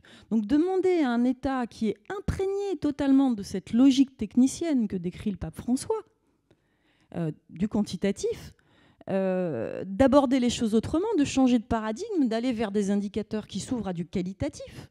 Hein, les indicateurs de richesse, c'est intégrer les externalités négatives, euh, le taux d'alphabétisation euh, des populations, etc. Mais en fait, c'est juste pas possible parce que je pense que cette logique technicienne, euh, c'est là que le bas blesse. Hein. Alors, je pourrais passer du temps à la, décrire. Hein, la logique technicienne, juste pour donner un exemple, c'est la gestion des forêts, intensive des forêts. C'est-à-dire que c'est très bien d'exploiter une forêt. Mais là, on va exploiter tout ce qu'on peut exploiter, au-delà du seuil de renouvellement de la ressource. Hein? Pourquoi? Parce que la seule chose qui compte, c'est de maximiser l'efficacité. Hein? Indépendamment de tout autre critère. Et, je, crois que c'est un, rapport intrinsèque avec ce que, ce que vient de dire euh, Patrick Vivray, c'est que l'État, aujourd'hui, reste dans cette logique technocratique. Et, euh, tant qu'on sera dans, dans, la pensée euh, de la technique, et eh ben, les choses ne vont pas, vont pas avancer. L'État et l'entreprise aussi est dans une, de cette logique productiviste, etc. Vous avez vous-même travaillé en entreprise, dans, dans, dans tout ce dans qui la RSE. RSE. Donc, bah, c'est la même logique. Quel regard portez-vous? À 40 ans, euh, j'ai fait un petit virage par la philosophie et les spiritualités. Pourquoi? Bah, Parce que euh, j'en avais assez. En fait, j'étais venue là pour euh, faire bouger les choses. Et en fait, bah, la RSE, c'est quand même très souvent une affaire d'indicateurs. Hein. c'est, super réducteur, en fait. Ok, on, enrobe avec de la communication autour des indicateurs, mais en fait, qu'est-ce qui se passe? Il s'agit de communiquer sur des indicateurs, donc encore une fois du quantitatif. Et encore pire, c'est exactement ce que dit le pape François. Il a une critique de la RSE assez euh, euh, violente euh, dans l'encyclique Laudato Si. C'est que si les indicateurs étaient mis en synergie et en complexité, ça irait. Mais on a des indicateurs environnementaux, des indicateurs sociaux, des indicateurs sociétaux. Voilà. Alors la complexité, zéro, puisqu'on fait trois rapports distincts. Et donc, bah, on va dire des choses sympathiques sur chacun des indicateurs. Mais ça reste un discours, encore une fois, technocratique. On, remplit des indicateurs. Alors moi, j'ai eu la chance de faire de la RSE sur le terrain. Euh, ça devient intéressant quand on fait participer les hommes. Le désir encore. Quels indicateurs sont pertinents pour vous, votre entreprise, par rapport à votre contexte euh, de société civile locale, aux impacts sociétaux que vous pouvez avoir sur le, territoire euh, et les parties prenantes qui, l'habitent? Là, ça devient intéressant. Le handicap, par exemple. C'est nul si on envisage le handicap sur, euh, la base de, des effectifs Cotorep qui donnent droit à des subventions. Et des... Par contre, c'est vachement intéressant quand on, eh ben, arrive devant le responsable d'un entrepôt, par exemple, on lui dit bah voilà, il va falloir mettre en place les indicateurs. Ah, il tire une tête, pas possible. Encore de, l'administratif, des contraintes, du reporting. Et au bout d'un an, il s'est passé un truc merveilleux. C'est que les collaborateurs, ils ont compris ce que c'était un handicapé mental. Que c'était pas quelqu'un bah, d'infréquentable, euh, qui sait rien faire. Ben non, au contraire. A découvert que, tiens, je pensais qu'un handicapé. Bah, là, il y, a un travail, il y a un travail humain qui se fait. On n'est pas dans la technique. Hein. Et on vient deux ans plus tard, et eh ben, euh, le responsable de l'entrepôt, il est super fier parce qu'il a intégré euh, le plus de handicapés de la région et, et, ça a un écho extraordinaire sur l'image de l'entreprise au niveau local et puis aussi en effet miroir sur les salariés. Et là, la RSE, ça devient intéressant. Mais c'est la RSE, pas version technocratique, c'est la RSE avec des hommes, avec du désir et avec des engagements. Après, la, technique, la technologie, euh, le progrès, on peut se dire aussi que ça peut répondre à cette, euh, question climatique. Pourquoi ne pas euh, finalement faire confiance à ce développement de, de, la technologie et du progrès, Bruno Villalba? Surtout pas. Surtout pas. c'est pas à eux de décider ce que sera notre avenir parce que techniquement c'est réalisable. Euh, Illich, c'est un auteur fabuleux. Hein. Il dit euh, euh, on invente la machine parce qu'on peut le faire, et on utilise la machine parce qu'on peut le faire, et ensuite on utilise la machine parce qu'on doit le faire. Et nous, on est dans ce cycle infernal de d'optimisation sans cesse des, process technologiques. Il n'y a qu'à voir les, les, calculs fabuleux que peuvent faire des ordinateurs maintenant, qui étaient inimaginables il y a encore dix ans. Enfin, L'idée qu'on puisse avoir tous un téléphone portable aujourd'hui, avec des fonctionnalités incroyables, il y a encore dix ans, c'était c'était c'était pas envisageable, enfin, disons, à 15 ans. Il faut, que je m'habitue, que je vieillis aussi. Donc, ce qui, va être intéressant, c'est que euh, euh, pourquoi l'État irait-il se tirer des balles dans le pied? Parce que c'est ça la question des choix écolos. Euh, L'État, il est dans une communauté de vue avec les entreprises. Il défend le capital. C'est son objectif. La croissance verte, c'est la défense, le renouvellement du capital. C'est tout.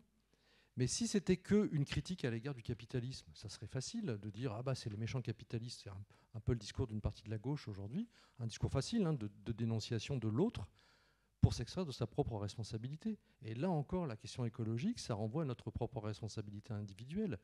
Euh, tout à l'heure, j'ai confessé publiquement que j'allais au McDo. Voilà, vous voyez, j'y vais pas souvent. Hein.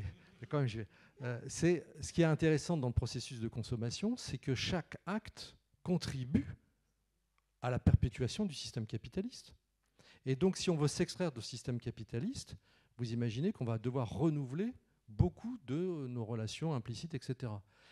Or, ce qui est paradoxal, c'est que quand vous voyez dans les sondages d'opinion quelle est la première préoccupation des Français, c'est la défense du pouvoir d'achat. Et la compatibilité de la défense du pouvoir d'achat avec les limites écologiques, eh ben, c'est difficile de la négocier. Et notamment chez les partis de gauche au nom de la justice sociale en partie. Et donc vous voyez bien qu'on est pétri, là encore une fois, de contradiction entre une intention louable, voilà, être plus vertueux sur le plan de l'écologie, et puis nos actes quotidiens, et dans lesquels je, m'inclus hein, euh, évidemment, où on voit ce, tissu de contradiction. Et eh bien l'État, lui, il est chargé de réguler tout ça, et il le fait pour le plus grand bonheur de la grande majorité de la population. Jusqu'ici, il a réussi à maintenir une forme d'équilibre entre la production technologique et la répartition de, cette richesse produite par le travail. Et ce qui est passionnant quand on travaille sur cette question d'écologie aussi, c'est qu'on voit bien que la, dichotomie des rapports dominants-dominés eh ben, ne fonctionne plus par rapport à la production. Et il y a un auteur qui est fabuleux, euh, Gunther Anders, un philosophe allemand qui est génial, qui dans les années 50 théorise le fait que eh bien, la dichotomie entre le producteur, le travailleur et, le patron ne fonctionne plus, puisque chacun participe à la chaîne de la production et de la consommation. Et donc on est lié en tant que producteur, travailleur, consommateur, et notre seule finalité, c'est travailler pour consommer et détruire la consommation pour renouveler la consommation. Et nous, on élève nos enfants comme ça. Moi, j'ai formé pendant des années des étudiants à l'idée que la croissance verte, c'était possible. Voilà, en me disant, développement durable, etc., une, conciliation possible. Et donc, ce qui va être très intéressant, euh, euh, est-ce que c'est possible de contraindre l'État à fonctionner différemment? La Convention citoyenne sur le climat, c'est un exercice démocratique extrêmement intéressant. On a pris des, des zigotos tirés au sort et on les a soumis à un débat contradictoire. C'est-à-dire qu'on a fait de l'éducation populaire, tout simplement. Et on les a amenés à proposer des réponses. Et c'est ça qui a été passionnant, c'est qu'on n'a pas fait euh, le pour, le contre, etc. On leur a dit, bon maintenant vous avez les, cartes en main, qu'est-ce qu'on fait? Comment vous inventez des solutions? Et ce qui a été extrêmement intéressant, c'est ce cheminement de gens qui étaient relativement éloignés de la question de l'écologie, parce qu'ils n'avaient pas mesuré le degré de gravité de l'écologie. Ils étaient sensiblement écolos, comme tout à chacun maintenant, bah, je trie mes déchets, etc. Mais quand on forme les individus à la gravité de la situation, c'est impliquant. Et on doit proposer des solutions. Alors même si les solutions étaient pas très révolutionnaires, passer de 130 à 110 sur les autoroutes, c'est pas révolutionnaire. C'est 90 qu'il faudrait, ou voire même arrêter les autoroutes. Mais bon, un peu, ça va être un peu compliqué, il faut y aller progressivement. Et même ça, l'État n'en a pas voulu. Autrement dit, la propre négociation citoyenne consciente dit, voilà, on n'aboutit pas. C'est pour ça que quand ce processus a été mis en place, euh, il y avait une collègue qui m'avait sollicité pour y participer. J'ai dit bah, non, parce qu'il n'y a pas la question du nucléaire. Vous avez exclu la question du nucléaire dans le débat sur la Convention citoyenne euh, sur le climat, ce qui n'est pas normal. Et surtout, je dis ce n'est pas les citoyens lambda qu'il faut former, c'est les ministres c'est les grands décideurs euh, économiques, c'est les mecs du MEDEF, c'est les, euh, capitaines des médias. C'est Bolloré qu'il faut former à ces questions-là. Vous l'obligez pendant un mois à réfléchir sur la gravité écologique. Et alors, je suis peut-être optimiste, hein, mais même Bolloré, à un moment donné, va finir par se dire Ah ouais, quand même, le monde n'est pas celui simplement de la production, de la technique, de l'innovation et de la compétition. Et donc, bah, s'il y a d'autres priorités, je vais renégocier mes propres priorités. C'était un peu le projet de la RSE au départ, avec le succès que l'on connaît. Et donc, ce qui va être intéressant, vous voyez, c'est que vraiment la démocratie, ça reste le meilleur système pour faire en sorte que l'adhésion, elle soit consciente et pas imposée par un État autoritaire, qu'elle soit négociée parce qu'on va se rendre compte de l'implication que ça fait, qu'on va devoir négocier avec ses voisins, euh, avec les autres acteurs économiques, avec les, chefs d'entreprise, avec les institutions, etc., pour trouver des solutions qui soient applicables.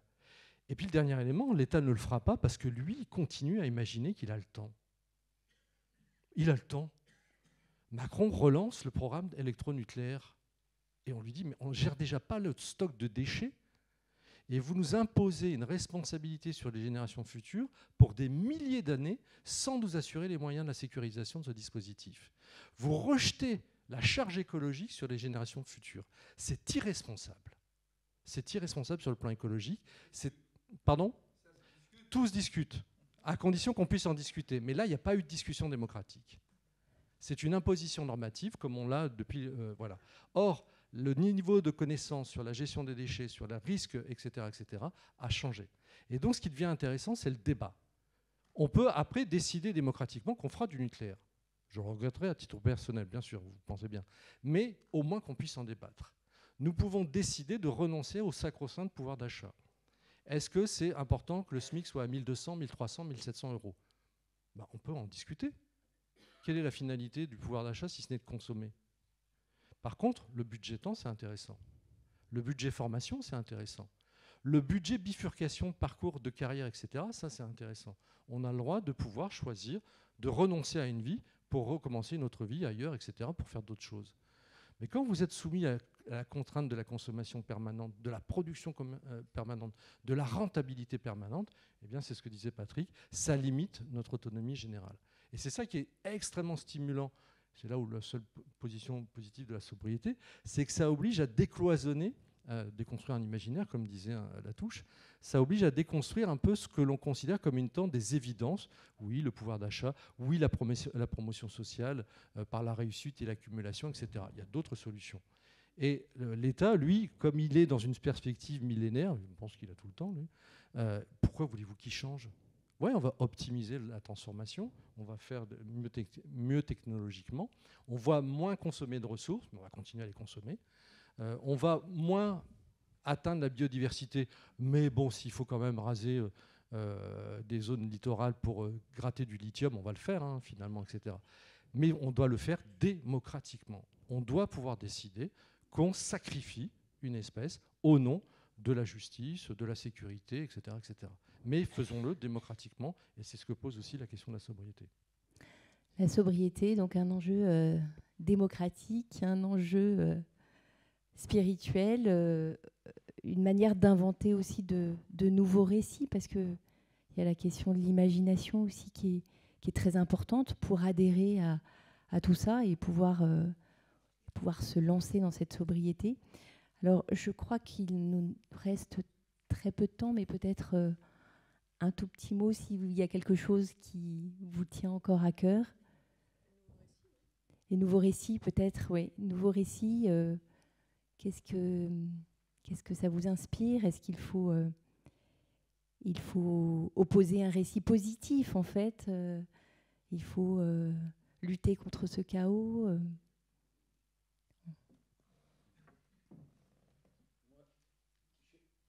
J'appliquerais bien la, question des, nouveaux imaginaires à la démocratie elle-même. Parce qu'on on voit bien que la question démocratique, elle est en, facteur commun de tout ce qu'on dit. Parce que l'un des points clés, c'est aussi la question du discernement. Qu'est-ce qui est bénéfique, qu'est-ce qui est nuisible? C'est la question de, la richesse.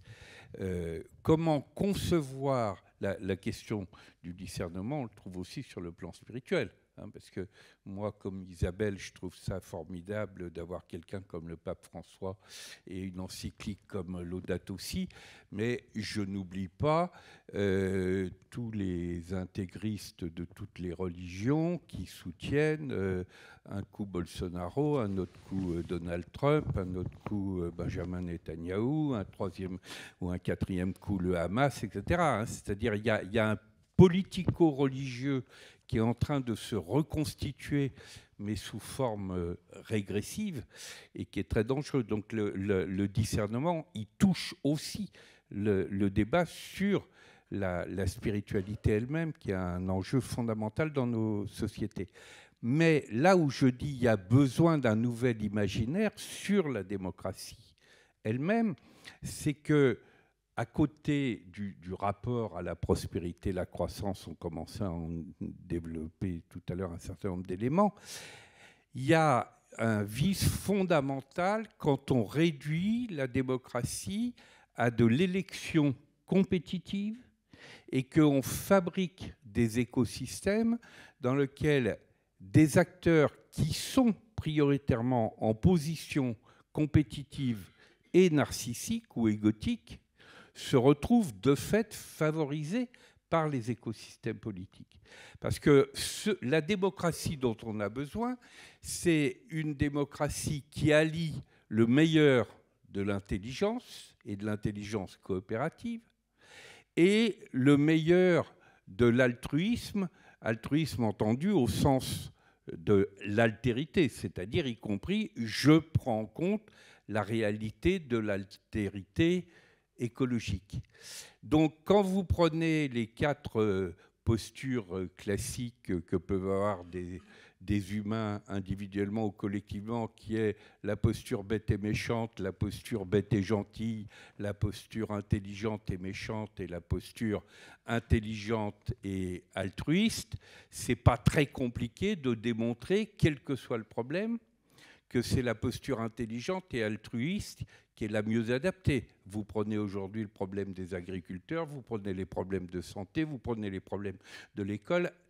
On n'a pas le temps de le faire ici, mais la démonstration, elle est relativement simple à faire. Or, nous avons au contraire des écosystèmes politiques qui favorisent la montée des cyniques, c'est-à-dire du couple des intelligents et méchants, qui instrumentent les passions, soit des bêtes et des gentils qui sont dans leur bulle et qui ne voient pas le problème des, autres, soit des bêtes et des méchants qui euh, considèrent eux-mêmes que le problème c'est autrui.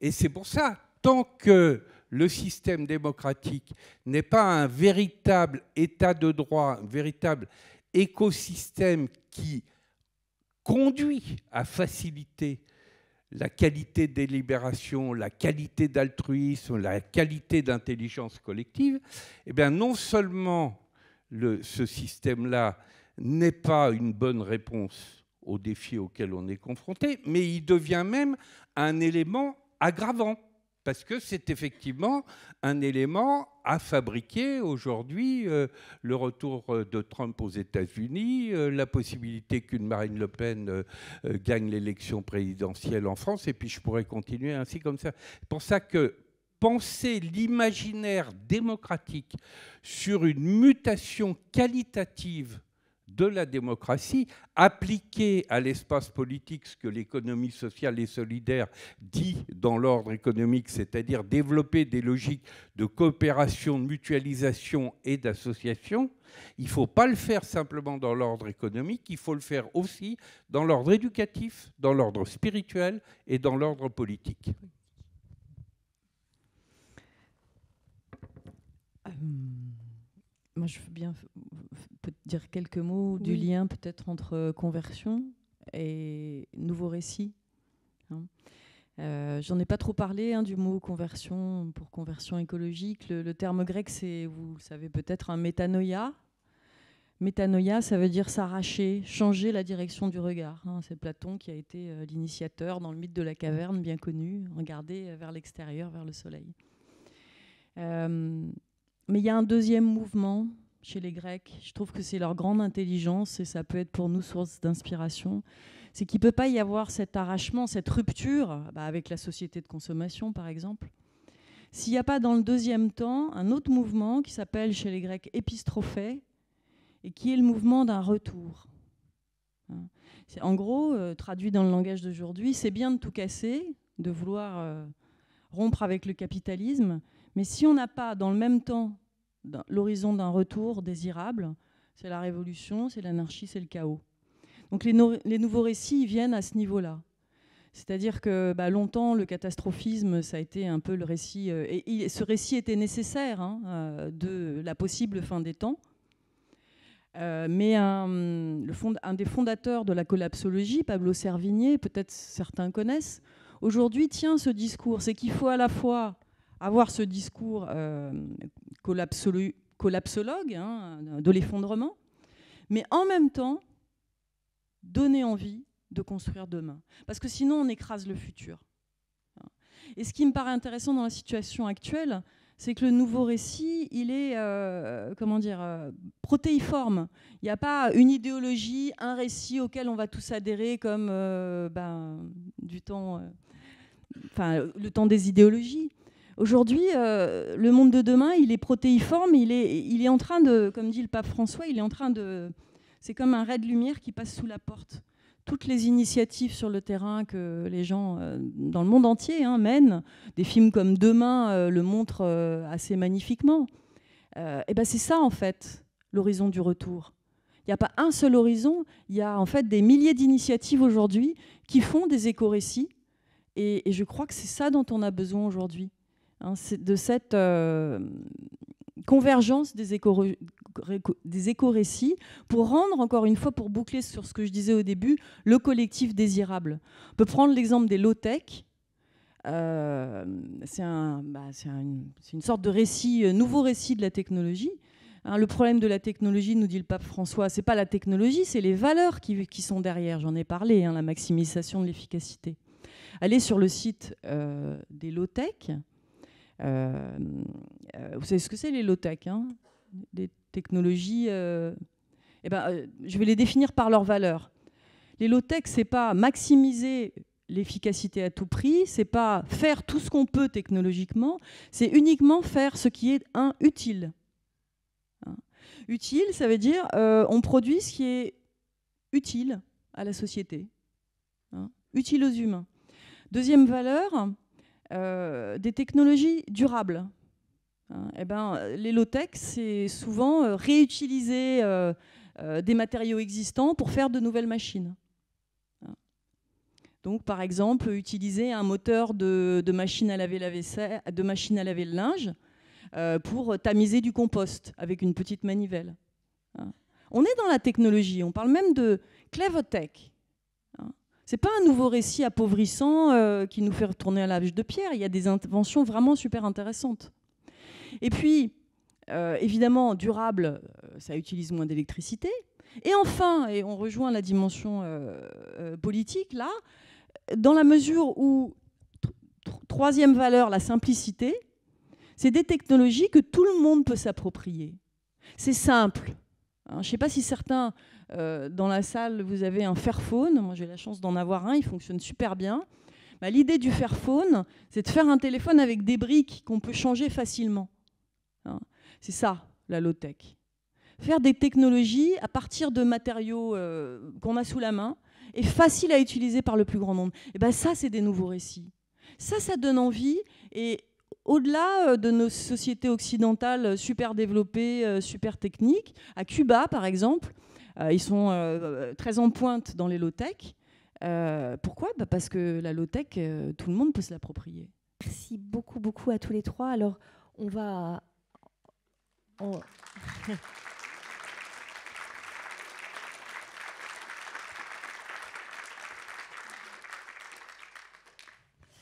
Alors en guise de, conclusion, pour passer à quelque chose de, pratique, et puis euh, euh, je voudrais d'abord vous inviter à regarder cette euh, courte vidéo sur la Maison de la Planète à Boulogne, et puis après nous pourrons en discuter.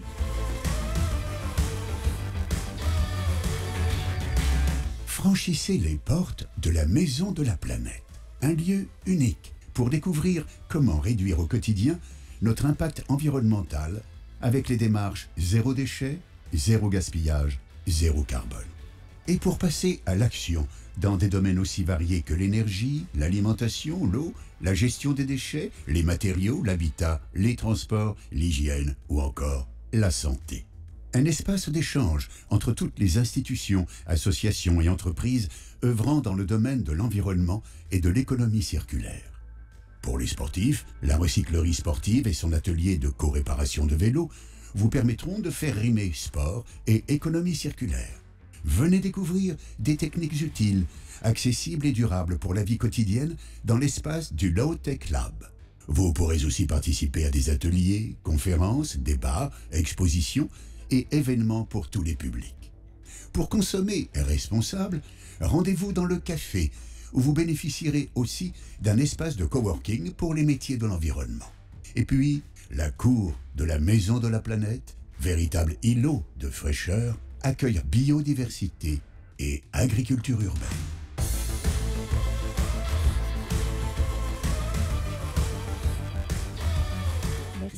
Euh, cette vidéo. Alors, je, passe la parole maintenant à Alain euh, Mathieu Dakis, qui est le maire adjoint de Boulogne et délégué à la transition écologique, qui va nous expliquer ce qu'est cette maison de la planète.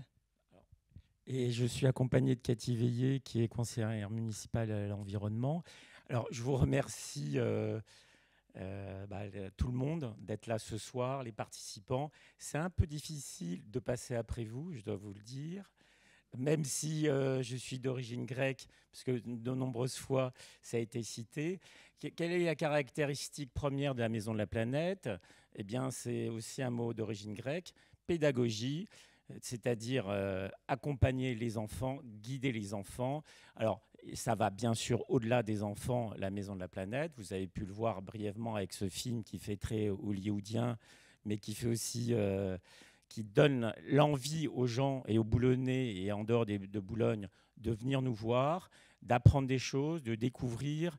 Euh, effectivement, euh, on, peut dire que de temps en temps, on peut être, euh, vu l'état de la planète, vu toutes les nouvelles qu'on peut avoir, on peut être pessimiste, mais on reste actif et cette activité, eh ben, on l'a au sein de, de, cette maison où on apprend aux gens à découvrir une forme de sobriété, euh, on peut faire avec euh, peu de moyens, eh ben, on peut euh, réparer des choses. la Maison de la Planète, qui est dirigée par Fabienne Vicarini, qui est assis au premier rang, eh ben, organise également des fresques du climat. Et la fresque, c'est un moment où les gens peuvent découvrir l'impact de leur activité sur la biodiversité, sur différentes choses. Et euh, Cathy, tu ne voulais pas, euh, tu, voulais pas être à mes côtés, mais toi qui es là parce que tu me disais oui, euh, je ne sais pas passer après tous ces débats de, haute qualité. toi qui es membre de Colibri, donc on en a parlé également avec Pierre Rabhi. Est-ce que tu peux ajouter des choses très brièvement parce que le temps est compté, qu'il va avoir passer au temps des questions? Oui, bonsoir. Merci beaucoup euh, pour euh, cette qualité d'échange. Euh, bah, oui, par rapport à, Pierre Rabhi, en effet, le mouvement Colibri, juste une petite chose, c'est chacun fait sa part. Donc là, la Maison de la Planète, en effet, c'est un, un, lieu de ressources pour tous. vous êtes vraiment invités à venir y participer, euh, faire, euh, voilà, venir découvrir énormément de choses. Mais euh, voilà, chacun fait sa part, même si ça semble anodin, c'est toujours très important de commencer à faire des petits pas. même ces petits pas bah, vont engendrer d'autres petits pas qui donneront envie à d'autres de faire aussi. sur Boulogne, nous avons énormément d'initiatives et voilà, nous invitons à, à vraiment participer à tout, tout ce que vous pourrez euh, pour faire avancer euh, la cause qui est une cause mondiale et pour, euh, pour notre bien-être à tous et aux générations qui arrivent et qui ont déjà un gros, gros challenge. Voilà. Merci beaucoup. Dernier, dernier, point, on s'est engagé à être rapide, donc on, l'est. On vous invite simplement le 6 février, ici même, à 19h, à la diffusion d'un documentaire qui porte, qui s'intitule, c'est une avant-première, puisque ensuite il sera diffusé, je le dis, j'essaye de lire euh, sur Arte, merci, et ça s'appelle l'expérience biosphère 120 jours dans le désert. C'est comment appliquer, on va schématiser ça rapidement, des techniques de low-tech euh, et comment vivre simplement voilà, 120 jours dans le désert. Voilà, donc c'est le, quelle date? Le 6 février, 19h ici même. Merci. Je vous redonne le micro. On reste là si jamais vous avez des questions.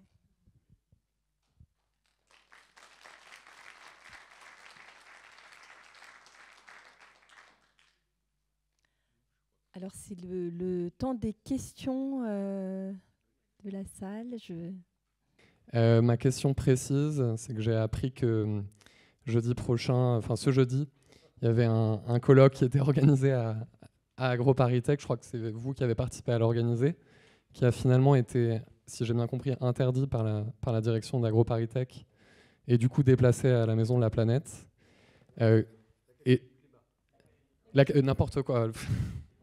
Excusez-moi, mais c'est la soirée des lapsus. Euh, donc pas l'Académie du climat.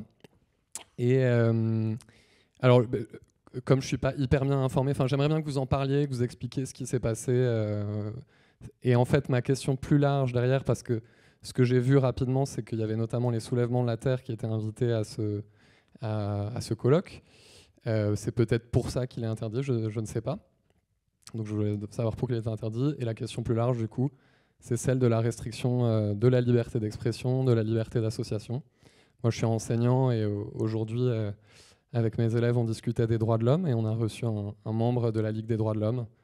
Et donc, voilà, c'est pour ça que là, ça, rejoint aussi les propos de Patrick Vivray. Euh, euh, sur la question écologique, en ce moment, euh, restriction de la liberté d'expression et de la liberté d'association.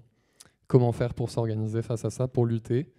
On a parlé par exemple de la, résistance à l'oppression proclamée par la, Déclaration des droits de l'homme et du citoyen, comme invitation peut-être à une désobéissance civile aujourd'hui. Voilà, j'espère que la question précise et la question large étaient claires. Je vais répondre rapidement parce que ce n'est pas l'objet de, la réunion de ce soir, mais c'est lié. Hein. Euh, c'est une journée d'études qu'on a montée euh, avec des étudiants d'AgroParisTech et d'un master que, je dirige, qui, qui s'appelle Master Gouvernance de la transition écologie et société, où on forme des, euh, gestionnaires de projets environnementaux. Et en fait, c'est des, des, étudiants qui vont, qui, bon, ils sortent de grandes écoles, et donc, c'est les futurs, euh, pas forcément décideurs, mais en tout cas, ils participeront à la décision publique et privée euh, de demain. Et moi, je constate en tant que politiste une montée de, des radicalités écolo. L'usage de la violence, qui génère aussi hein, une contre-violence de la part des institutions, par exemple, ou de la part d'une partie du monde agricole aujourd'hui, notamment un certain nombre de syndicats agricoles. Et euh, nous, le projet de cette journée d'études, justement dans cette réflexion du cadrage écologique que j'évoquais tout à l'heure, c'est qu'on peut considérer que la violence n'est pas une réponse institutionnelle légitime, mais sociologiquement, elle existe. C'est tout. Et nous, notre projet de travail avec les étudiants, c'est euh, d'amener une compréhension des causes profondes du fait que des militants écolos, qui traditionnellement étaient non violents, basculent dans les pratiques violentes d'opposition frontale c'est un vrai objet sociologique, mais c'est surtout un objet politique. Et donc la question, c'est comment on entre dans des politiques de compréhension de ces formes de radicalisation pour empêcher l'expression de cette violence. Et pour ce faire, en tout cas en, tant que pratique sociologique, eh ben, il faut écouter la parole des militants. C'est-à-dire pourquoi vous le faites, comment vous le faites, est-ce que vous avez euh, la, connaissance des conséquences que ça produit, plus de violence, ça produit plus de réactions d'État et ça produit plus de sécurisation publique et c'est contre la démocratie en général. Tous les mouvements révolutionnaires qui ont échoué, et je sais, qu'ils sont nombreux dans l'histoire, ont produit euh, justement le renforcement de l'État. C'est un paradoxe, hein, sauf quand ils réussissent. Et encore, en général, ils produisent encore pire qu'avant. Et donc l'idée, c'était de, réfléchir à ça. Et samedi soir, le directeur n'était pas contre. Et puis sur les réseaux sociaux, ça a commencé à s'animer, etc. Et puis euh, lundi, euh, il m'a dit qu'il interdisait euh, la réunion. Alors pour moi, c'est une grave atteinte à la liberté académique. C'est-à-dire que aucune autorité administrative ne peut dire à un chercheur ce sur quoi il doit travailler, avec qui il doit travailler et dans quelles conditions il doit travailler. Sinon, ça veut dire que c'est la décision technocratique des experts qui décide ce qui est légitime de chercher, avec qui et comment. Et encore une fois, l'objectif, c'est bien de participer à la formation des étudiants pour que dans l'avenir, ils puissent déminer ce type de, confrontation. Sinon, on assiste actuellement à la cristallisation des oppositions radicales, milieu agricole, milieu de l'entreprise, euh, écologiste, etc., et à une incompréhension qui est défavorable à la cause même de l'écologie. C'est justement l'idée du débat démocratique, c'est de dire je ne suis pas d'accord avec toi, mais nous devons trouver un processus commun pour nous confronter de manière commune à la crise écologique majeure que nous allons devoir affronter. Donc, que je ne sois pas d'accord avec M. Bolloré, que je ne sois pas d'accord avec M. Macron, l'extrême droite, c'est autre chose. Euh, j'ai du mal à négocier avec eux. Mais c'est comme ça, chacun ses limites. Que je ne sois pas d'accord avec les syndicats, euh, la FNSEA, que je ne sois pas d'accord avec un certain nombre de militants écolo-radicaux, peu importe, nous devons participer à l'élaboration d'une solution commune si nous voulons affronter la violence commune qui risque de, sortir de cette, impasse de débat démocratique. Et ça, c'est regrettable. Et c'est profondément inquiétant euh, dans, des grandes écoles dont l'objectif est justement de stimuler l'éveil intellectuel et surtout la professionnalisation de cet éveil intellectuel des étudiants. Il ne s'agit pas de, faire de, tous les étudiants des militants écolos, ce n'est pas la question la question de l'écologie s'impose dans le débat public, elle va de plus en plus s'imposer dans le débat public. Il faut éviter euh, qu'elle soit justement euh, un prétexte à, euh, au renforcement du pouvoir de l'État, au renforcement du pouvoir des dominants, catégorie économique par exemple, et à l'imposition d'une vision restrictive de, de l'écologie. Que les agriculteurs soient dans, des situations compliquées, ça tombe bien, j'ai fait un bouquin avec le paysan avec lequel je travaille dans une AMAD depuis 10 ans, euh, Romuald Bott, euh, c'est un, type formidable, eh bien, le bouquin est axé sur la pénibilité du travail du paysan. Et si on ne comprend pas que c'est son corps intime qui est meurtri à chaque fois qu'il travaille, même s'il adore ce qu'il fait, etc., parce qu'il est dans des processus de production, et encore lui, il est préservé, il est en AMAP, hein, donc c'est un peu plus facile. Et, donc on voit bien cette violence que subit le corps paysan. Et je crois que. Alors, les paysans rappellent que euh, c'est un suicide euh, par jour à peu près chez, chez, le milieu des paysans. Il y a 200 militants écolos qui ont été tués l'année dernière pour cause de leur militantisme écolo à l'échelle planétaire. 200. Est-ce que vous connaissez une seule catégorie sociale où on pourrait tuer 200 militants sans que ça fasse un bronca international? Par exemple, voilà. Et encore, eux, ils ont, ils ont des représentants officiels qui sont audibles, etc. Et ce qui, va être intéressant, c'est de voir effectivement comment on peut euh, voilà, faire baisser la pression sur ces choses-là. Et il faut ouvrir le débat. Et donc, si le directeur m'interdit de le faire, c'est pas grave, on se déplace. Mais moi, j'aurais bien aimé aussi organiser une journée d'études avec euh, les syndicats euh, agricoles qui rentrent dans des postures de, violence. Ok? On a certains euh, j'ai un doctorant qui a été menacé par des, militants d'un syndicat que je ne nommerai pas, parce qu'il était à une manifestation en tant qu'observateur, évidemment, parce que c'est un sociologue. Heureusement, il, est à moitié aveugle, donc il avait une canne blanche et il n'a pas, il a subi que des claques. Ils l'ont laissé tranquille parce que c'est un handicapé. Comme quoi, des fois, quand on fait du terrain, il vaut mieux être handicapé. Donc, ce qui, va être intéressant, c'est ça, c'est le débat.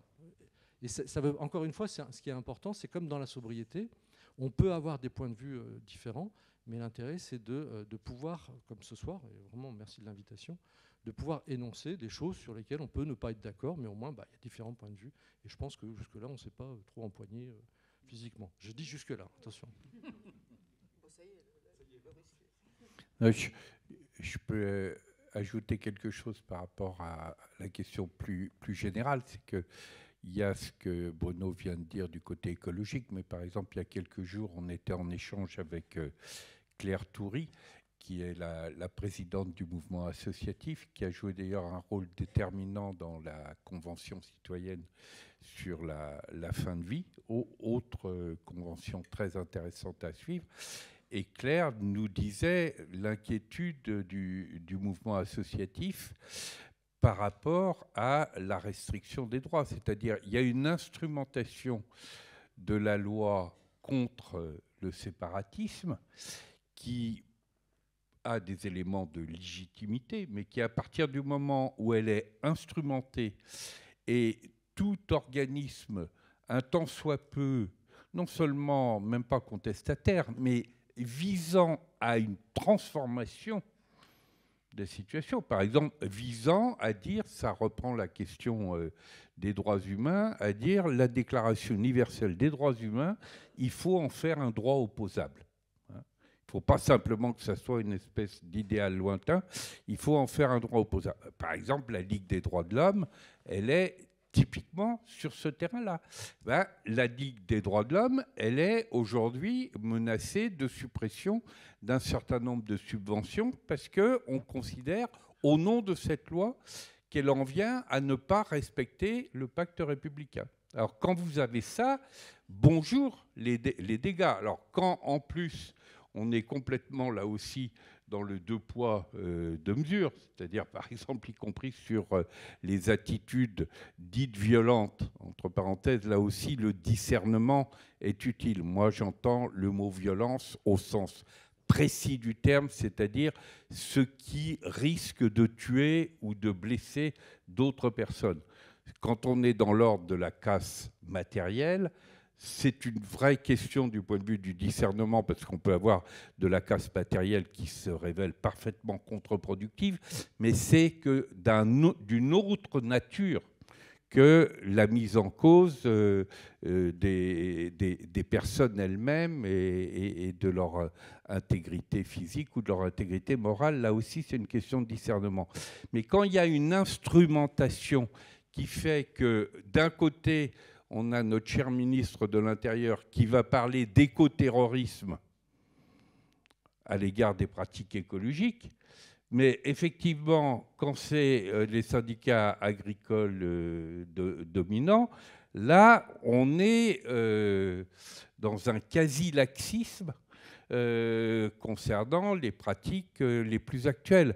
Donc, s'il n'y a pas une attitude qui allie à la fois la justice et une qualité démocratique de discernement et de délibération, ben, effectivement, à ce moment-là, même des mouvements, vraiment, quand vous prenez le mouvement associatif, c'est vraiment pas un repère euh, de gauchistes euh, exaltés. Hein. Le mouvement associatif, il a pris la, suite, Frédéric, il connaît ça par cœur, de ce qu'on appelait auparavant la conférence permanente des présidents euh, de collectifs associatifs. Donc c'est vraiment pas un repère de subversion. Eh ben, quand le mouvement associatif lui-même dit attention, il y a un vrai danger sur la démocratie elle-même et sur les associations, et en partant de l'exemple de la Ligue des droits de l'homme, eh ben, effectivement, il faut sérieusement s'en occuper.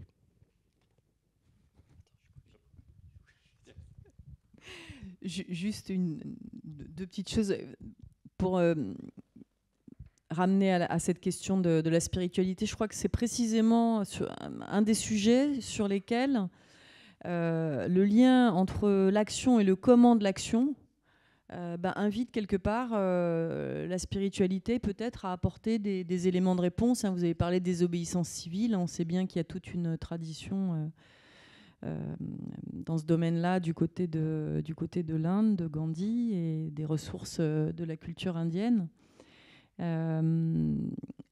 Mais en fait, la question qu'on peut poser, c'est la question de la limite, en fait. Je crois qu'aujourd'hui, euh, euh, il y a une recherche, même des, groupes comme Extinction Rébellion, qui étaient à l'origine non-violents, se pose la question de l'articulation de violence et non-violence.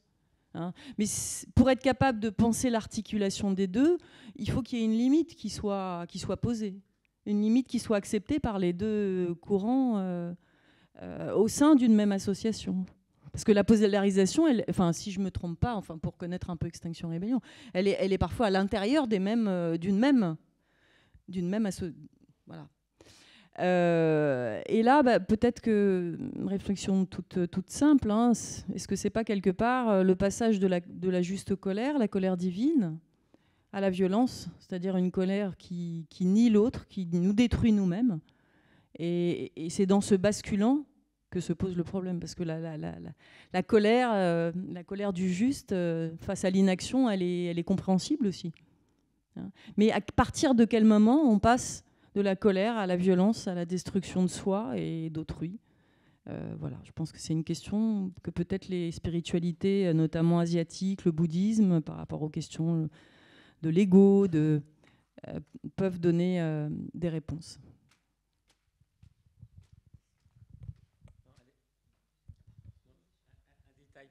l'Académie du climat à Paris, elle est derrière l'hôtel de ville, d'accord, métro hôtel de ville. Et euh, la Maison de la Planète à Boulogne-Billancourt, elle est sur le forum. Vous le savez, euh, voilà, au, forum Oui, on a un quartier au Pont de Sèvres, qui s'appelle le Forum, voilà, quartier du Pont de Sèvres. Et là, c'est métro hôtel de ville pour l'Académie du climat et métro Pont de Sèvres pour la Maison de la Planète. C'est un petit détail pratique. Y a-t-il d'autres questions? Oui Moi, c'est simplement, je veux évoquer dans l'écologie ce que peut représenter le scoutisme depuis, je crois, 180 ans, quelque chose comme ça. Apprendre en campant à se passer de beaucoup de choses, ne pas dire de tout, mais à faire avec ce qu'on a. Je pense que c'est extrêmement formateur. Je pense que nos enfants sont beaucoup trop euh. Excusez-moi, je. Euh, voilà. Ils sont moins nombreux, donc on peut faire plus, donc on achète plus, donc ils sont, on encourage par les achats ou par autre chose pour se faire plaisir à soi en faisant plaisir à ses enfants, avec des vêtements à la mode, etc. Euh, et j'en passe, enfin. Voilà, donc apprendre à se passer et puis réfléchir sur notre façon de... Euh, euh, du genre de réflexion que j'ai déjà entendu. nous n'aurons qu'un enfant, mais il sera bien élevé il sera bien élevé parce qu'il aura tout ce qu'il faut, euh, euh, la plus belle poussette, euh, la plus, etc., etc. Oui, bonsoir. Merci pour vos échanges très riches. J'ai une question concernant la démocratie.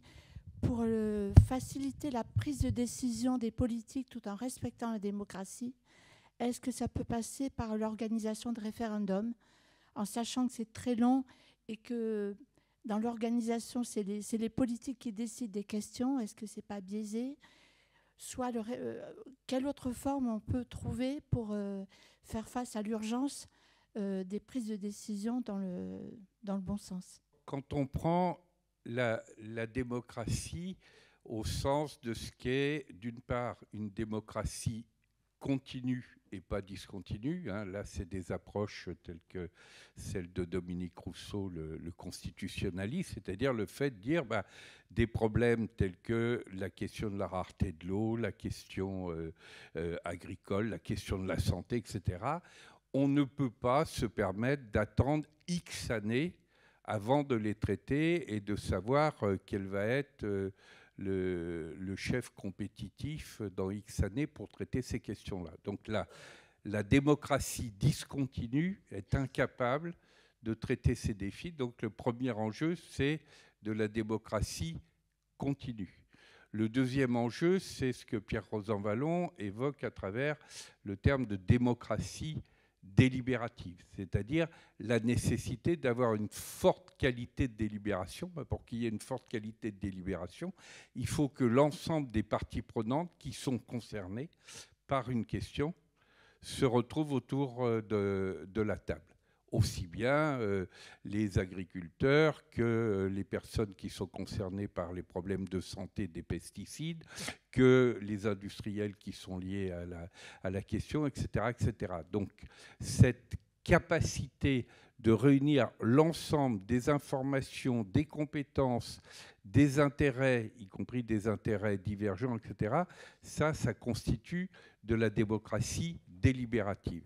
On a besoin aussi d'une démocratie où le niveau de participation soit beaucoup plus important. Mais il ne faut pas opposer participation et représentation.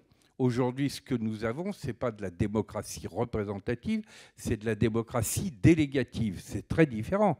C'est-à-dire, une fois tous les X années, on donne quasiment un chèque en blanc à des personnes pour avoir une vraie représentation, il faut avoir une forte qualité de participation. Alors effectivement, dans la rubrique participation renforcée, il y a une boîte à outils. Dans cette boîte à outils, il y a des procédures référendaires, mais qui sont plutôt des procédures référendaires de type suisse que de type euh, français. Et qui porte sur des thèmes et des thèmes pluralistes, parce que la contradiction classique qu'on connaît bien en France avec les procédures référendaires, c'est que d'abord, on ne répond pas à la question qui est posée, mais on répond à la question, à la personne qui a posé la question.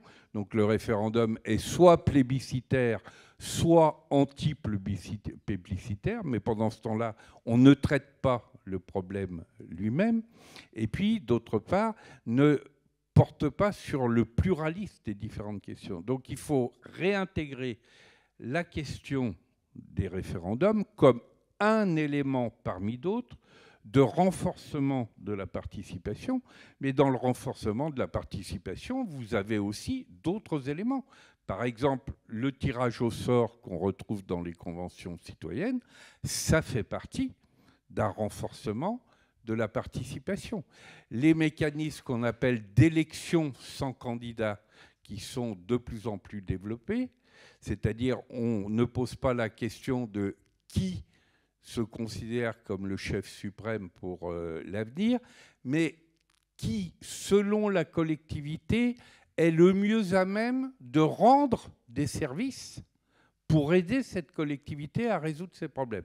Au passage, d'ailleurs, l'élection du pape est un exemple intéressant d'élection euh, sans candidat. Certes, très restreinte compte tenu euh, du collège euh, électoral qui est convoqué, mais du point de vue du mécanisme, c'est une élection sans, sans, candidat. Vous voyez, et là, on pourrait développer d'autres éléments de cette boîte à outils de la démocratie euh, à la fois délibérative, mieux représentative, mieux participative, mieux délibérative, mieux continue. Et moi, je fais le lien aussi avec les enjeux proprement économiques. Parce que si on dit qui est légitime pour délibérer sur ce qui est bénéfique et qu'est-ce qui est nuisible, et si on dit bah justement, ce n'est pas la technocratie, qui est légitime. Ce pas des instances supérieures, comme par exemple des instances religieuses ou des instances despotiques de type Parti euh, communiste chinois, etc. Qui est légitime pour délibérer sur le bénéfique et le nuisible et en tirer les conséquences? Ce sont des assemblées démocratiques. Et à toutes les échelles, en appliquant les principes de subsidiarité en fonction des différents euh, niveaux. Ben, si à ce moment-là, on sait qu'une assemblée démocratique va avoir des conséquences économiques très importantes, parce que suivant la délibération sur qu'est-ce qui est bénéfique, qu'est-ce qui est nuisible ou qu'est-ce qui fait débat, ça va entraîner des conséquences considérables en termes d'investissement, en termes de fiscalité, en termes de réorientation même des flux financiers, eh ben, je vous prie de croire que là, l'absentéisme, il va sacrément baisser parce qu'on aura l'impression que la démocratie est reliée à de la puissance euh, créatrice. voyez, donc moi, je ne je, suis pas contre certaines procédures référendaires citoyennes, mais intégrées dans le dispositif d'ensemble et ne pas considérer qu'il s'agit d'une baguette magique, parce que, pardonnez-moi l'expression, quand on croit qu'il y a des baguettes magiques, il y a de bonnes chances qu'elles se deviennent des bâtons merdeux. Bien, s'il n'y a plus de questions, il est temps de, conclure notre soirée. D'abord, je voudrais remercier la ville de Boulogne pour son accueil, le prêt de l'amphithéâtre. Euh, monsieur l'adjoint au maire, euh, Mathieu Gatakis, qui euh, nous a présenté les activités de la, la, Maison de la Planète avec Fabienne Vicarini. Claire Pouly pour l'animation de, ce débat passionnant, nos trois intervenants euh, qui ont aussi euh, approfondi énormément notre réflexion et qui nous ont aussi livré des témoignages personnels euh, qui sont essentiels compte tenu de l'angle sous lequel nous avons abordé cette question. Et puis, vous, ceux qui ont participé à ce débat, pour leurs réactions et questions. Alors, je rappelle qu'on a une question sobriété heureuse, réponse à la transition écologique, et, il faut y répondre. Alors j'ai retenu notre débat que cette sobriété euh, passe par une prise de conscience individuelle, et là-dessus, je crois que la, maison, la présentation de la Maison de la Planète montre bien que ça commence par une activité éducative dès le plus jeune âge.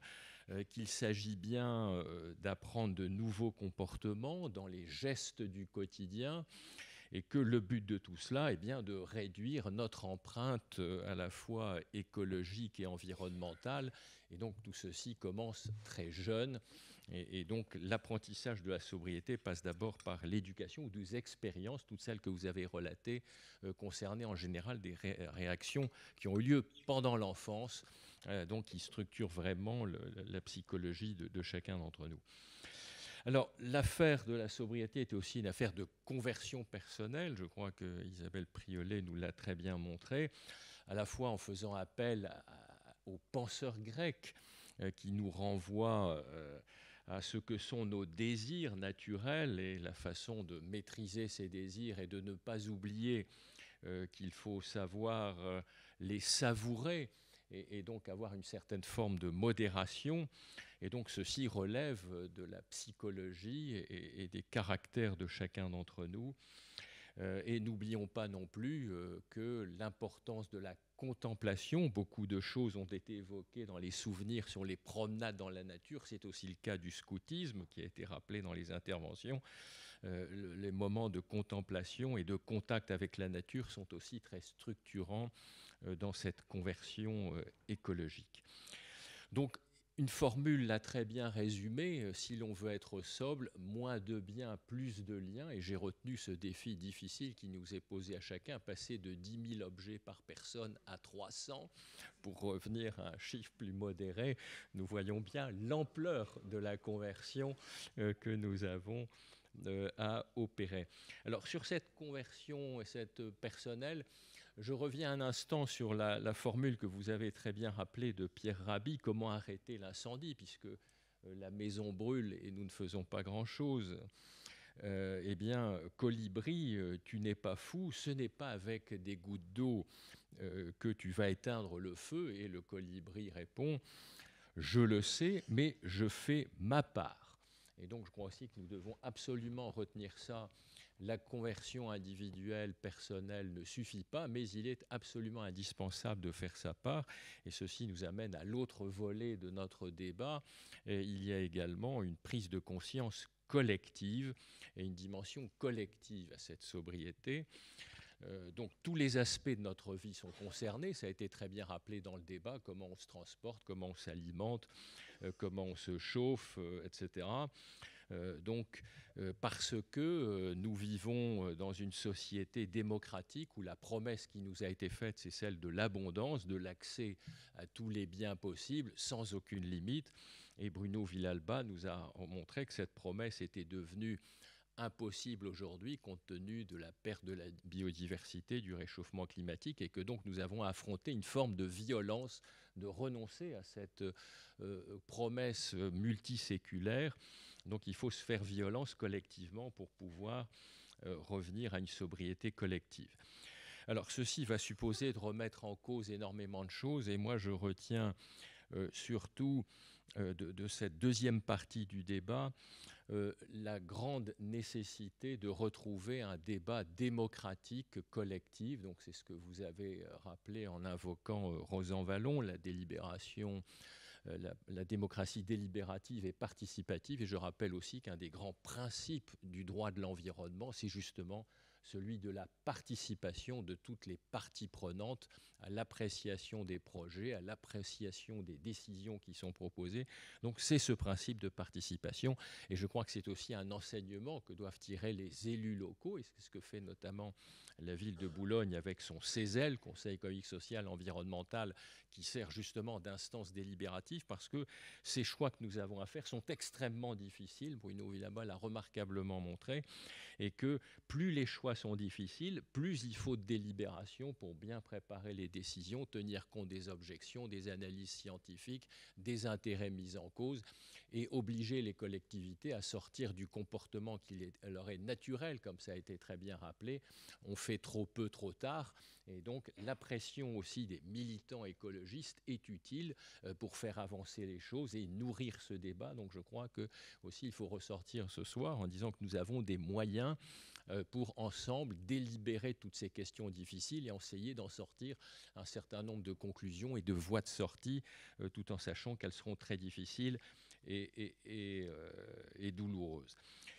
Et donc, euh, dernier aspect de ce débat, de cette dimension collective, c'est que nous avons aussi besoin de changer nos imaginaires, euh, compte tenu de la promesse démocratique multiséculaire qui nous a été faite. Et je trouve aussi très intéressante la perspective qu'a ouverte Isabelle Priolet avec l'accent sur les low-tech, donc une nouvelle façon euh, d'utiliser la technologie, non pas pour produire plus en, continuant à, dénaturer notre environnement, mais en trouvant des solutions techniques qui respectent ses contraintes et ses limites.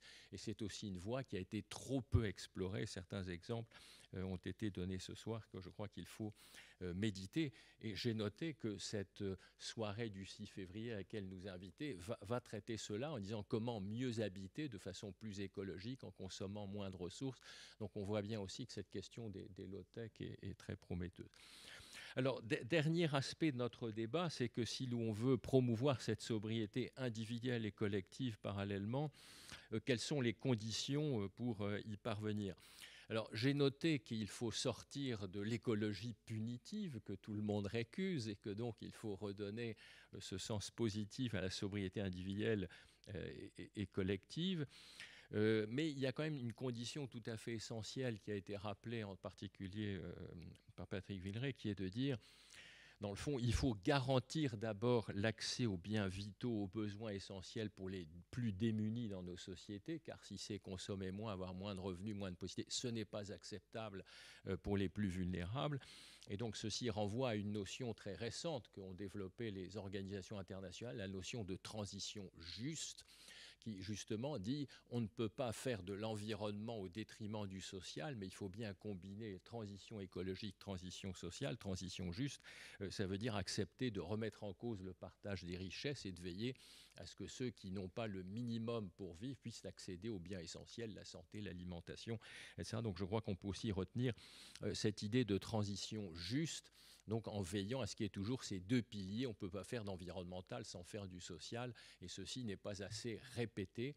Et euh, je cite comme illustration de cette démarche incomplète l'Union européenne qui a adopté une taxonomie verte pour régler la question des investissements verts à l'avenir, mais elle a abandonné l'idée de faire une taxonomie sociale parce qu'en disant c'est trop compliqué, on a des modèles sociaux trop différents. Et donc on voit bien qu'on est là en présence d'une approche déséquilibrée puisqu'on met des contraintes environnementales sans traiter le volet social. Et donc c'est le rejet garanti de toutes ces contraintes nouvelles qui seront uniquement environnementales et qui déplairont qui aux agriculteurs, euh, qui euh, aux, gens qui n'ont pas le ou qui, vivent du RSA, etc. Donc retenons cette idée de transition juste. Et puis pour terminer, je, je rappellerai ce, ce, grand chantier qui est en train de s'ouvrir. Euh, a été rappelé aussi très bien les limites de notre façon de tenir la comptabilité par Patrick euh, Vivray. Euh, nos indicateurs sont limités, on ne tient pas compte des destructions de la nature, de l'environnement, des ressources humaines.